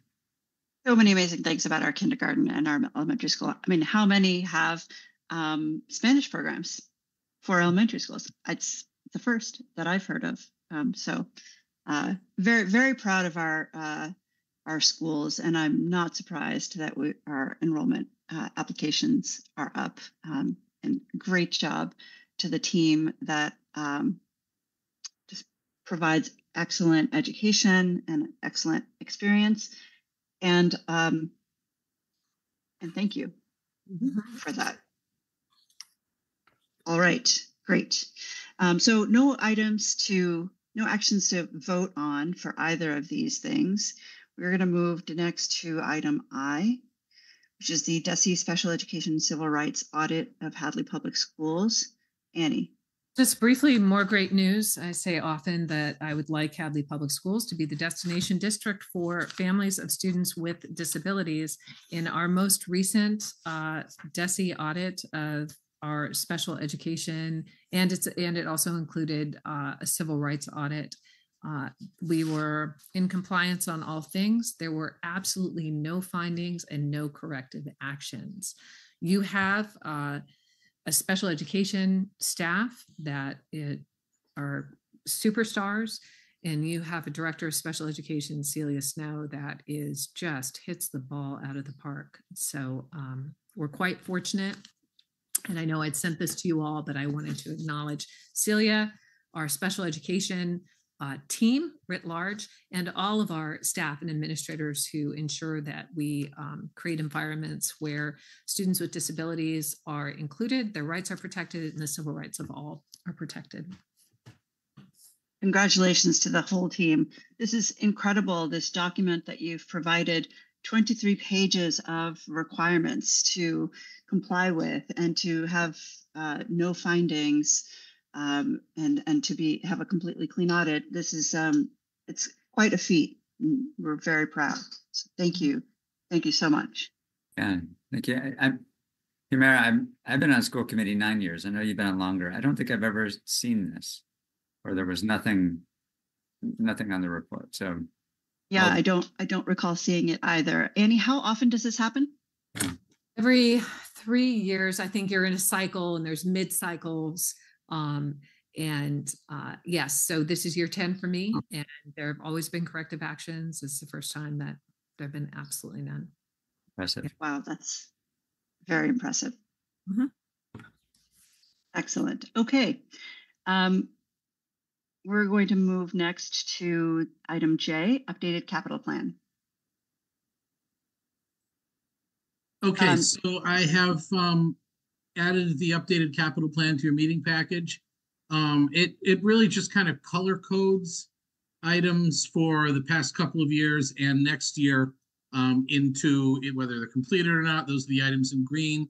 If they're in progress, that means that we've gotten estimates for them and and we're just waiting for the vendor to be able to come and do them. Um, there were a couple of items that were canceled um, just because we were told that they didn't really need um, to do these things. Um, one of them, for example, um, adding ventilation and air conditioning units to data and custodial closets. Um, and, and that was kind of determined in, in speaking with Steve, our IT director, who said that we didn't really need ventilation in the data closets because there were no um, heat producing items in the closet, just switches, um, which didn't produce any heat. So they didn't really need to be cooled. And um, you know, the custodial closets, if you can imagine your typical kind of hallway closet with a very narrow door, they don't go in very deeply. So you're you're talking a sink and some mops, and uh, you know, not not really something that requires uh, cooling. So it was just kind of determined that boy, we don't really need that. We moved it way out um, into 2031, 32, um, and marked it in red with you know canceled with a question mark because it, it didn't seem to be really something that was needed. Um, we also had, um, a couple of items, let's see. New funding, oh, I guess I don't have any, I take that back, I'm sorry, of new funding needed. Right now, we don't, we don't have any of those. Um, but I did just kind of move items up and down on the, uh, report because they were, uh, they were kind of spread around and, and if you see, like, if you look at all of the HVAC, um, items, for example, are now together and they're all in the same year and they all have a black box around them so that we know, um, you know, these items are going to be taking place really all at the same time. It wouldn't make much sense to, you know, say, do the pneumatic controls one, one year and then uh, the boilers in another, where, you know, as we know with the energy project, that's all going to be one project. And so the adjustments were made just really to, uh, to represent that they're one project. Uh, I think another item are, um, the bricks. Uh, we have rebuild top of chimney. We did the south end of the building last year. Um, but, you know, recaulk expansion and control joints, exterior masonry needs to be repointed. And the brick retaining wall next to the bus drop off. And, um, we just decided again that why wouldn't we just have somebody that could come and quote for all of these jobs at once and take care of them all at the same time. Uh, we just might get, because it's a larger job, we might get something that, um, you know, price wise, it would just be better. It's a bigger job. It's easier for a contractor to come and know that they're going to do four jobs than to have them come four separate times, bring all their tools and equipment each time. Uh, you know, certainly there's cost involved in that, just loading trucks and bringing everything here. Um, so those were the changes really that were made and off to the to the right. I just put comments um you know like moved from fy 24 say for some of them or moved after the H, uh, hvac project for something like the ceiling tiles because unfortunately we just can't do that beforehand. Otherwise we'll be taking them down to run the ductwork. So um this was really just a, an attempt to um, schedule things more appropriately, um, given that we had these, you know, the, the HVAC project, the, the big one, um, that really affected a number of these items and, and we thought it would be better to just put them all together. Thank you, Chris. I, really appreciate the bundling of like projects. It makes a lot of sense. Uh, not only for us to wrap our head around what those projects are, but also I think you you ended up moving things from years uh, that had a like category. Really appreciate that um, that the way you did that. Um, I do have a question about the HVAC list of um, funds. Those are funds to execute on the plan that we originally had, which was to replace our steam boilers with steam boilers. It's not a new plan because we have not yet approved that. Just clarifying question there. Uh, well, yes, those are, I mean, it, I wasn't really sure how to handle something like that. We're not going to replace them with new steam boilers. We're going to be replacing them with the geothermal heat, assuming, of course, that that that works out, you know, the way we expect it to. Um, Right. but for the time being, until we got the plans that actually got everything approved, I thought it was best to just keep them there, but put them in line with the rest of the HVAC projects. Absolutely. Terrific. Any other questions or comments for Chris on the capital report? I just appreciate the amount of work that went into doing this and being a visual person. I think this was this is a great way for me to, you know, see how everything's going. It's perfect. Yeah, Thank seconded. the layout a lot of this as well compared to past renditions. This is I, I love the the living document. Mhm. Cool. Um, I had one question. Before, did we have the um school choice funding for the hundred thousand for the playground on here? Did we not have it on there? Um, I'm The trying only to reason I find. asked, because I know it was school choice, so I was just curious because we have some school choice on here. Yeah, I, I'm sorry, I can't find it, which bothers the heck out of me. Is it toward the top of the report? Um, no, I don't see it. That's my Oh, question. I thought you had it on there before. Okay, I'd have to look at prior versions. I don't believe I took anything out, and certainly not that that we know um, is going to be on there. So I can certainly check past versions, and if not, uh, again, because this document can change so often and, and so quickly, I can add that in. Um, th- that's not a problem there at all. I guess that would explain why I couldn't see it because uh, Yeah, and I think perhaps there. maybe where you remember seeing it, Tara, is we did post up um the Excel spreadsheet about uh school choice encumbrances. Might be where I Current saw. balances could be. Yeah. and what we've encumbered money for. So, but it Yeah. does make sense to add it and we can bring that back at a future meeting, but I'm sure that's where you saw it and it was never Yeah. on the capital plan. Um, but we can add it. Because you did. Yeah, you're, I think you're right. Okay, also, Thank you know, you. if you, if the committee um just gives me the okay, I like to keep the town um informed of any changes, any reschedulings or anything, so I'd love to be able to share this uh, you know, with the the town manager and uh, you know, the town accountant, the town treasurer, just so they have this kind of on their radar. They should probably vote it because it's been amended. So it's on there to vote. I think that we should vote it tonight and then bring it back, of course, and we'll add the new additional playground line item when you have that um, added as well. Any other questions or comments on this um, from a school committee deliberation standpoint? Okay, and I'm gonna ask Joyce. I see Joyce has her hand raised. Joyce, do you have a comment on this? Um, I don't know if I missed it or not, but where are we on the locker rooms where we voted on that last fall and approved? Um, did I miss that in your report, Chris? It's uh, it's on here. Uh, Yeah, it's, I believe- I believe it's row fifty-six, renovate and repurpose girls' locker room areas, Yes. and then row fifty-seven is the boys' locker room. It's a, it's there, Joyce. Oh, And I just a- don't have, I didn't Yeah, have that a- in front of me.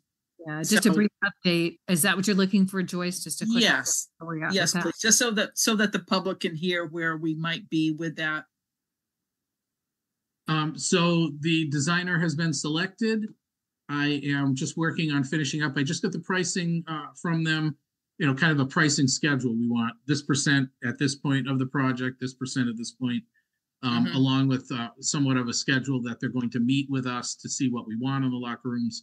Um, I'm incorporating all that into the into the contract document. I expect to have that to them um probably by Thursday of this week.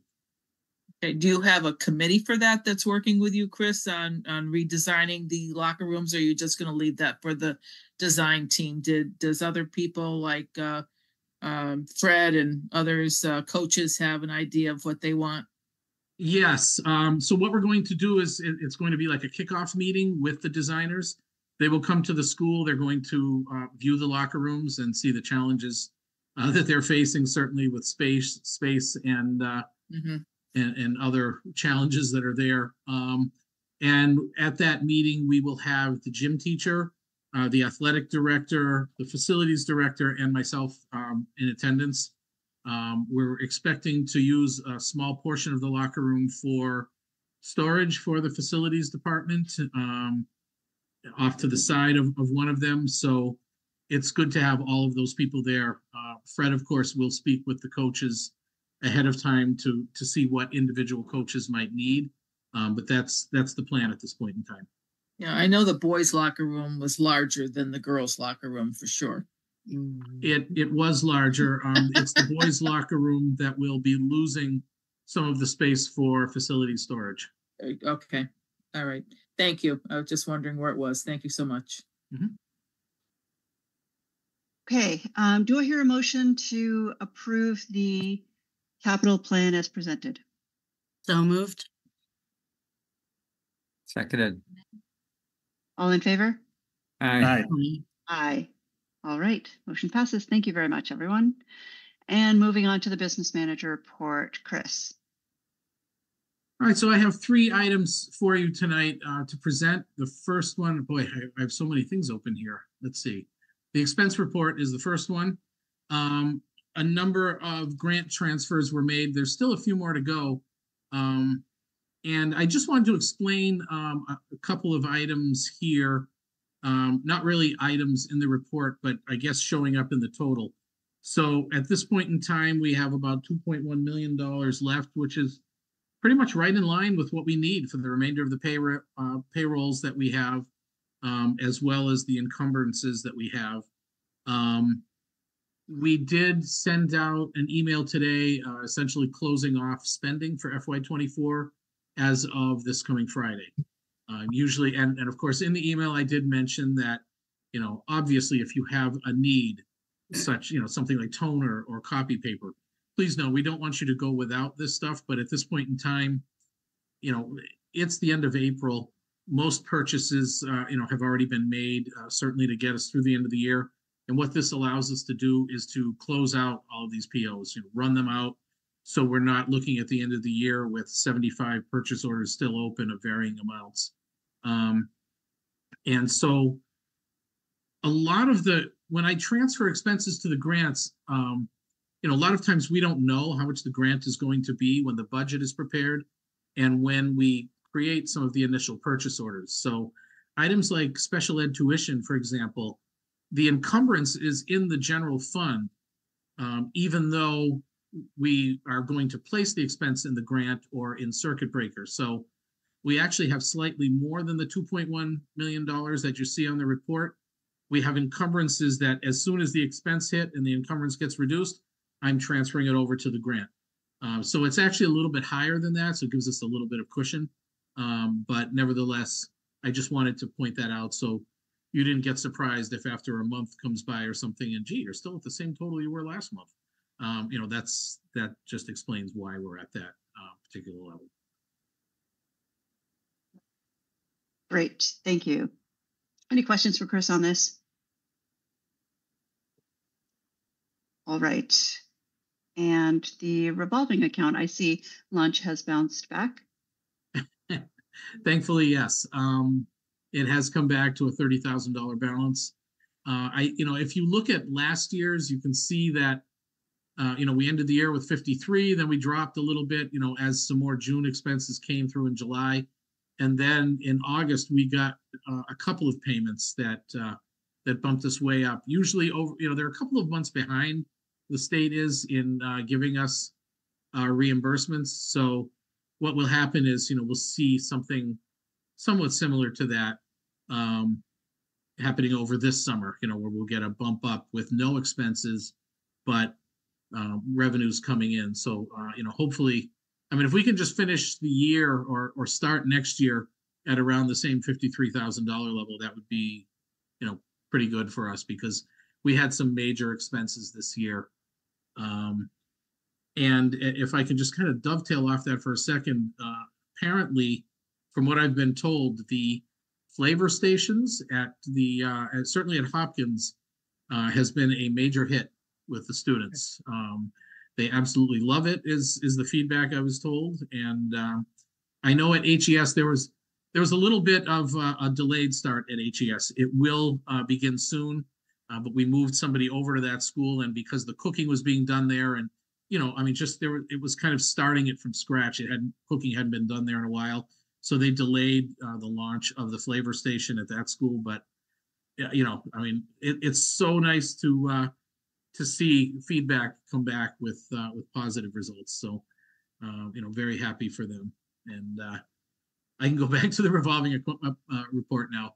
Um, student activity got a bump up. You know, basically field trips were being uh, deposited into and had not been expensed out yet. So we got a little bit of a, an increase in the student activity. The Hadley Kids account is is doing very well, uh, forty one thousand. I did transfer the um, about two thirds of the budgeted amount of school choice expenses. I don't really anticipate more. That's that's what I plan on right now um, barring any unforeseen circumstances where um, I think we've done all of the expenses to school choice that we're going to have to do. Uh, so that's certainly a good sign. Um, and uh, and that's pretty much it for the revolving account. I don't know if anyone has any questions there. Uh, no questions, but a comment. Uh, I heard from my daughter that the um, flavor station was was mobbed, um, and is is a big hit. So congratulations! Whatever you're doing is is working yeah, it was great to hear that. It truly was. Any other thoughts Just on the, the school choice of that one point nine, that's after you made the withdrawal? That's correct. Uh, we had about, I think, six hundred thousand of expenses. Um, went to school choice. We budgeted, I believe, nine, nine or nine twenty-five. I don't remember exactly, but it was one or the other. Okay, thanks. Uh, right. something. It's a quick comment. Um, um, I'm excited to get some feedback from the elementary school about the flavor stations, and I did get feedback. They do Papa John's pizza on Friday, and my fifth grader did come home after the first week and said, uh, "There was a snafu and there was a delay in pizza for a lot of kids, so you might want to look into." that." And I had luckily already been aware from it from from an email, but and and, and I know resolution, and I could could assure him and his his other fifth grade friends that we've already worked out a, a plan, but they love the pizza. Yeah, apparently the uh, road work caused quite the delay in the pizza being delivered. Um, again, something that was unforeseen, uh, certainly by us and also by Papa John's. So, Yeah. um, you know, we just suggested that they might find an alternate route to the school um, during the road construction phases. So, um, that's you know, a- a- again, sometimes the the best laid plans still have problems presented, uh, and this was one of them. But you know, as long as there's a solution. Indeed. Okay, moving on to the grant allocations. Okay, so um, this is the grant report. Um, as you can see, there's significantly more expensed from the grant than there was uh, the last one. I did a very large number of journal entries to move expenses over to the grant. Um, couple things I just wanted to point out. Uh, the second grant on here, the ESSER three grant, you can see we have two hundred and seventy thousand dollars remaining. That needs to be expended by, actually not expended, but um, planned expenses, I guess. We need to have it encumbered or spent by September thirtieth of this year. Um, which will be fine because two fifty of that is for the uh HVAC design work. Uh, and then uh, I still have to do another twenty thousand of expense transfers over, um, which will be done this month. So um, I, you know, it just looked like a huge amount, and I just wanted you to be aware that there's nothing to worry about. We will have it fully spent. Um, the other one is a little, I guess it's a, about maybe almost two thirds of the way down. The three thirty-two grant you can see is actually negative. Um, it's not, I did the journal entries after I ran this report. and I forgot to go back and change it, but I moved the expenses out of the grant uh, and, and back to where they belong. So that is no longer in the negative. So um, I just wanted to point those two items out. I can answer any questions you may have. Great, thank you. Questions for Chris? No questions? All right, great. Thank you so much, Chris. And we just had one other item, and that was the warrants. Um, Ann and I met last week, I think it was to work on grants, and we just quickly went over the school committee agenda. And, um, and she said, are we missing anything? And I said, you know what, I haven't seen in a while, are are warrant approvals on the, um, on the agenda. So I need to go back and just, um, look at when the last time we actually voted them, and then I'll, I'll, you know, put something together so that you know exactly what you need to vote on to approve them. Um, but yeah, we need to, you know, get that caught up. Um, I'm also a little behind in sending them out to Ann and Ethan to sign, so you'll be getting a, a decent amount of warrants. So get your mouses ready, mice, I guess, mice ready, um, to, uh, to approve those. It's good. I just thank you. let me say for the parents again, neither Chris nor I will be teaching your children English, so you're good. I did learn will- from Anne on, not uh, rotting mouses. Okay, technically I have to chime in, you know, I'm gonna have to, but um, when it comes to computer equipment, it is technically correct to say mouses, not mice. All right, Ah. just like with the lunch Oh. thing. I knew that. started. Yeah, Mm. okay, I see how it is. That makes sense. Okay. Excellent. You brought in the Thank you. All right, well, we look forward to seeing an update on the warrants next month and signing and, and taking care of that housekeeping. Appreciate you uh, bringing that to our attention. All right, um, any final questions on the business manager report for Chris? Excellent. Thank you, Chris. Okay, we're going to scan our action items. I believe we have voted on, uh, approved everything. We are, except for E. Um, Do I hear a motion to approve the school committee minutes from March 25th? So moved. Seconded. All in favor? Aye. Um, Aye. Excellent. Um, onward to school committee updates and general announcements. Um, Tara, tell us about uh, the playground, CPAC, and CES. go backwards because it's quicker. Um, so CES, I just sent that out to you guys. I apologize. I'm bad at sending out. Um, so we will not have another meeting until May, but I sent out the um, director's um, report that goes through a little bit of what's been going on at CES. And the last meeting um, that I went to in March, we spent um, a good amount of time reviewing um, the director's um, um, evaluation and kind of how we could improve it. So um, that was a nice informative discussion, and it's always nice to hear kind of what's been going on, what updates are making. It's not too long of a document. It's a pretty quick read if you want to read through it. Um, you know, overall, everyone provides a lot of really, um, really good feedback um, to the director there. So I find it just to be really, even if you don't have a lot to add as far as feedback, um, it's informative to listen in on people's. Um, so that's CES. So I won't have um, another update on that um, until probably um, probably June because the May meeting will happen after our after our um, school committee meeting in May. Um, CPAC, there is a next CPAC meeting. They did not meet last month. That meeting got canceled. There's another meeting this coming Friday, um, where I believe they're going to finalize their bylaws and um, create a um, create an agenda and schedule of what the following school year is going to look like. And I think they're going to assign officers as well. Um, so I'll have a report for next month of, that, and I'd be happy to also share their their schedule of planned events as soon as they have that kind of finalized. Um, and then the playground. I did forget again to send this out to Annie, so I'll send this to her so you'll have it in the document for April, and I'll do um, um May update as well. But just to verbally tell you, um, last time we were about to receive the check from Steve Lewis Subaru, and we did um, receive a twenty-five thousand dollar check from Steve Lewis Subaru. Um, we will get the remainder of that um, in the fall, I believe, um, for the next share of the love. So we did we did receive that. We have that on hand. Um, we are working to follow up with some donors that have um, graciously agreed to pledge a donation, but we have yet to receive those, so we're following up with those.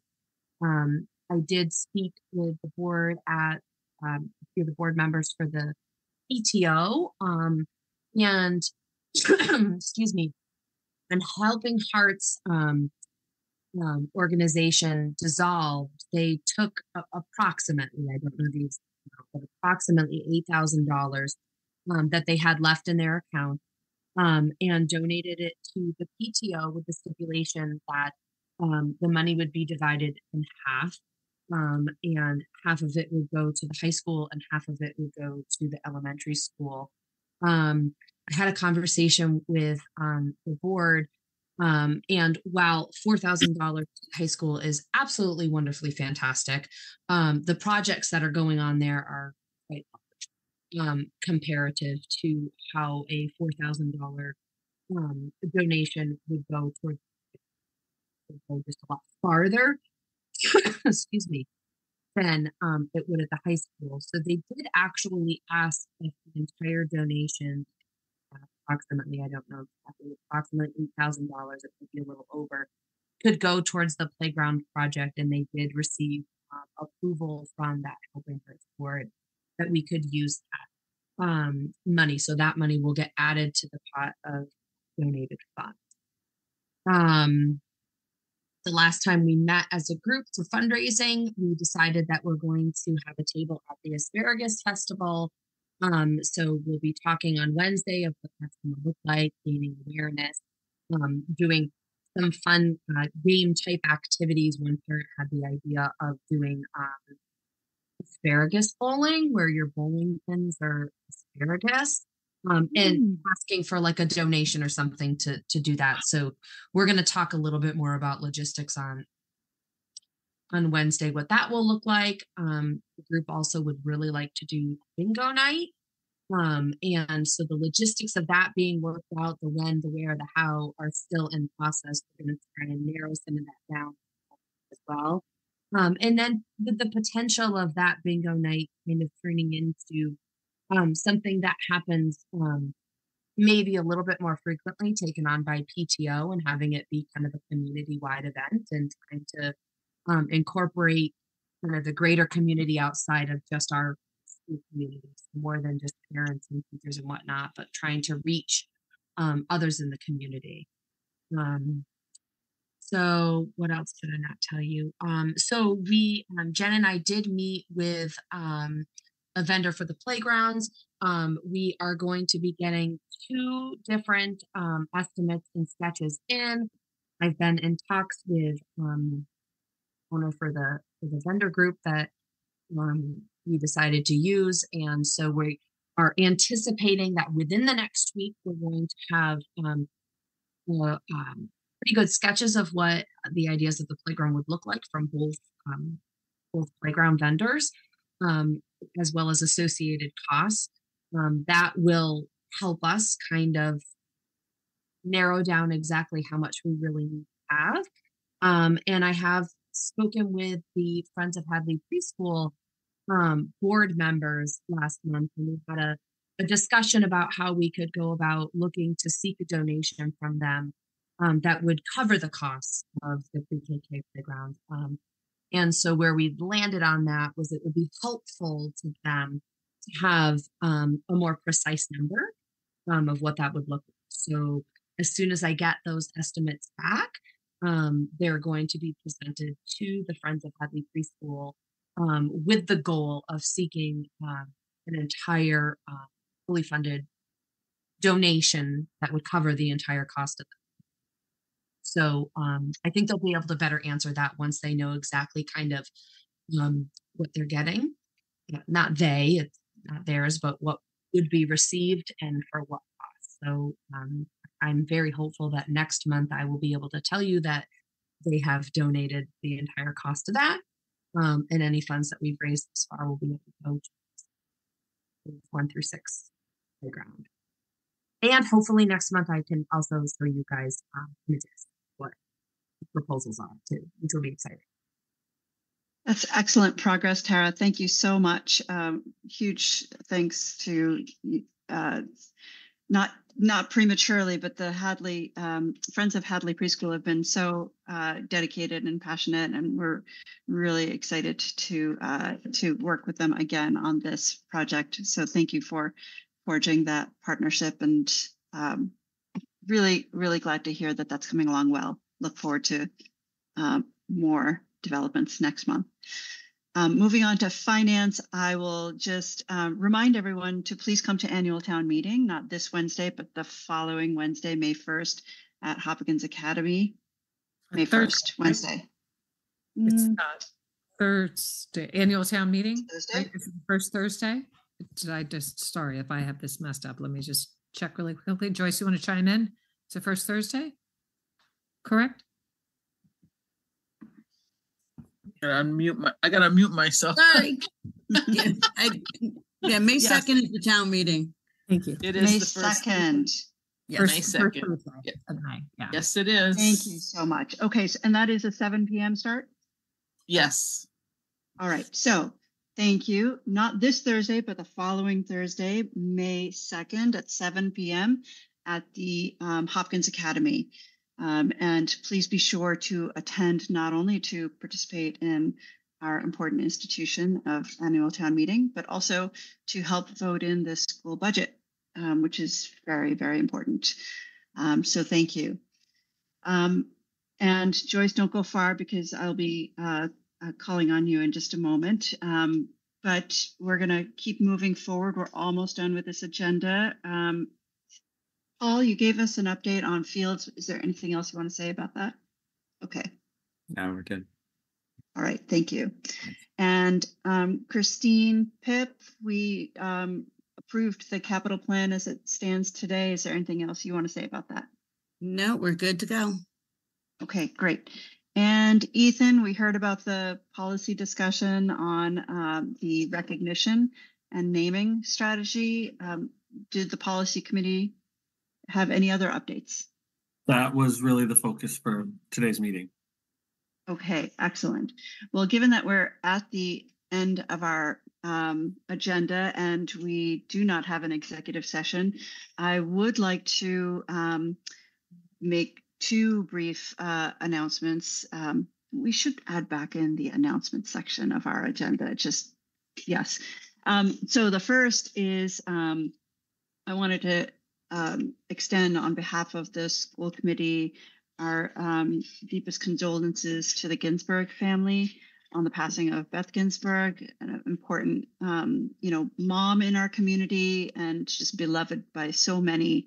Um, and uh, we're just so sad to hear about her passing.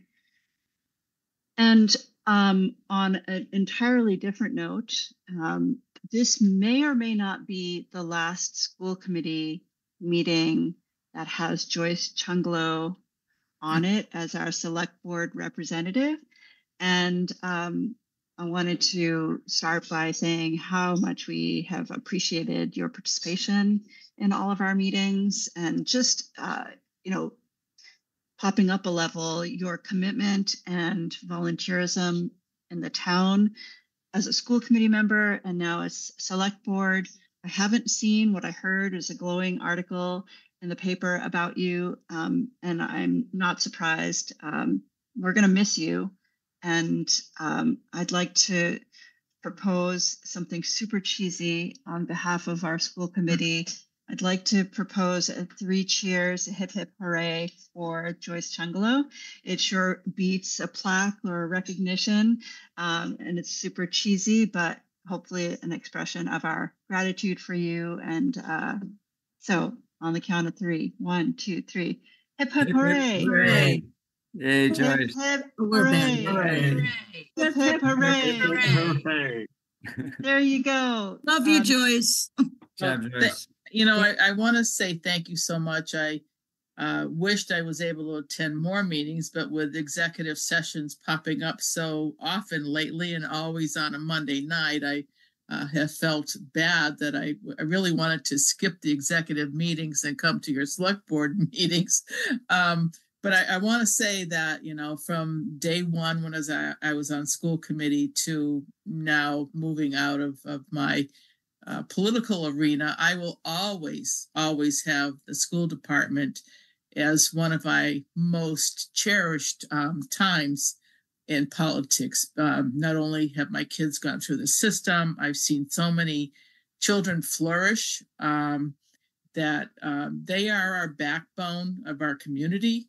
And I have always said that, you know, what we put into our education is what we will get back in the long run.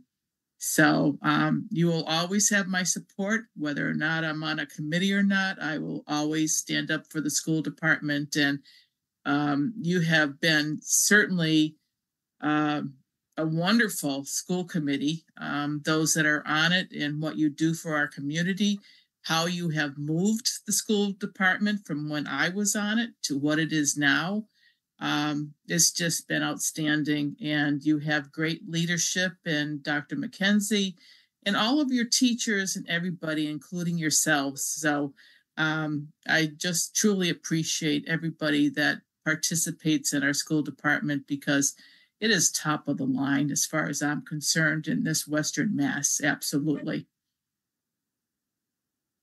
Thank you, Joyce. Way to make me cry. Nice. We're gonna miss you. And we, we know that you're not going far. So uh, thank you for continuing to be an advocate of the schools. We, we And- will and likely if- be. If you need somebody on a committee for something, I can available to whatever. So keep that in mind also. Great, Consider Thank that. you. Thank you. Thank you so much. All right, our next meeting dates are, uh, let's see, May twentieth. There will be a four thirty policy subcommittee, followed by a five thirty regular school committee. Um, so see you all on May twentieth. Do I hear a motion to adjourn this meeting? So moved. Seconded. All in favor? Aye. Aye.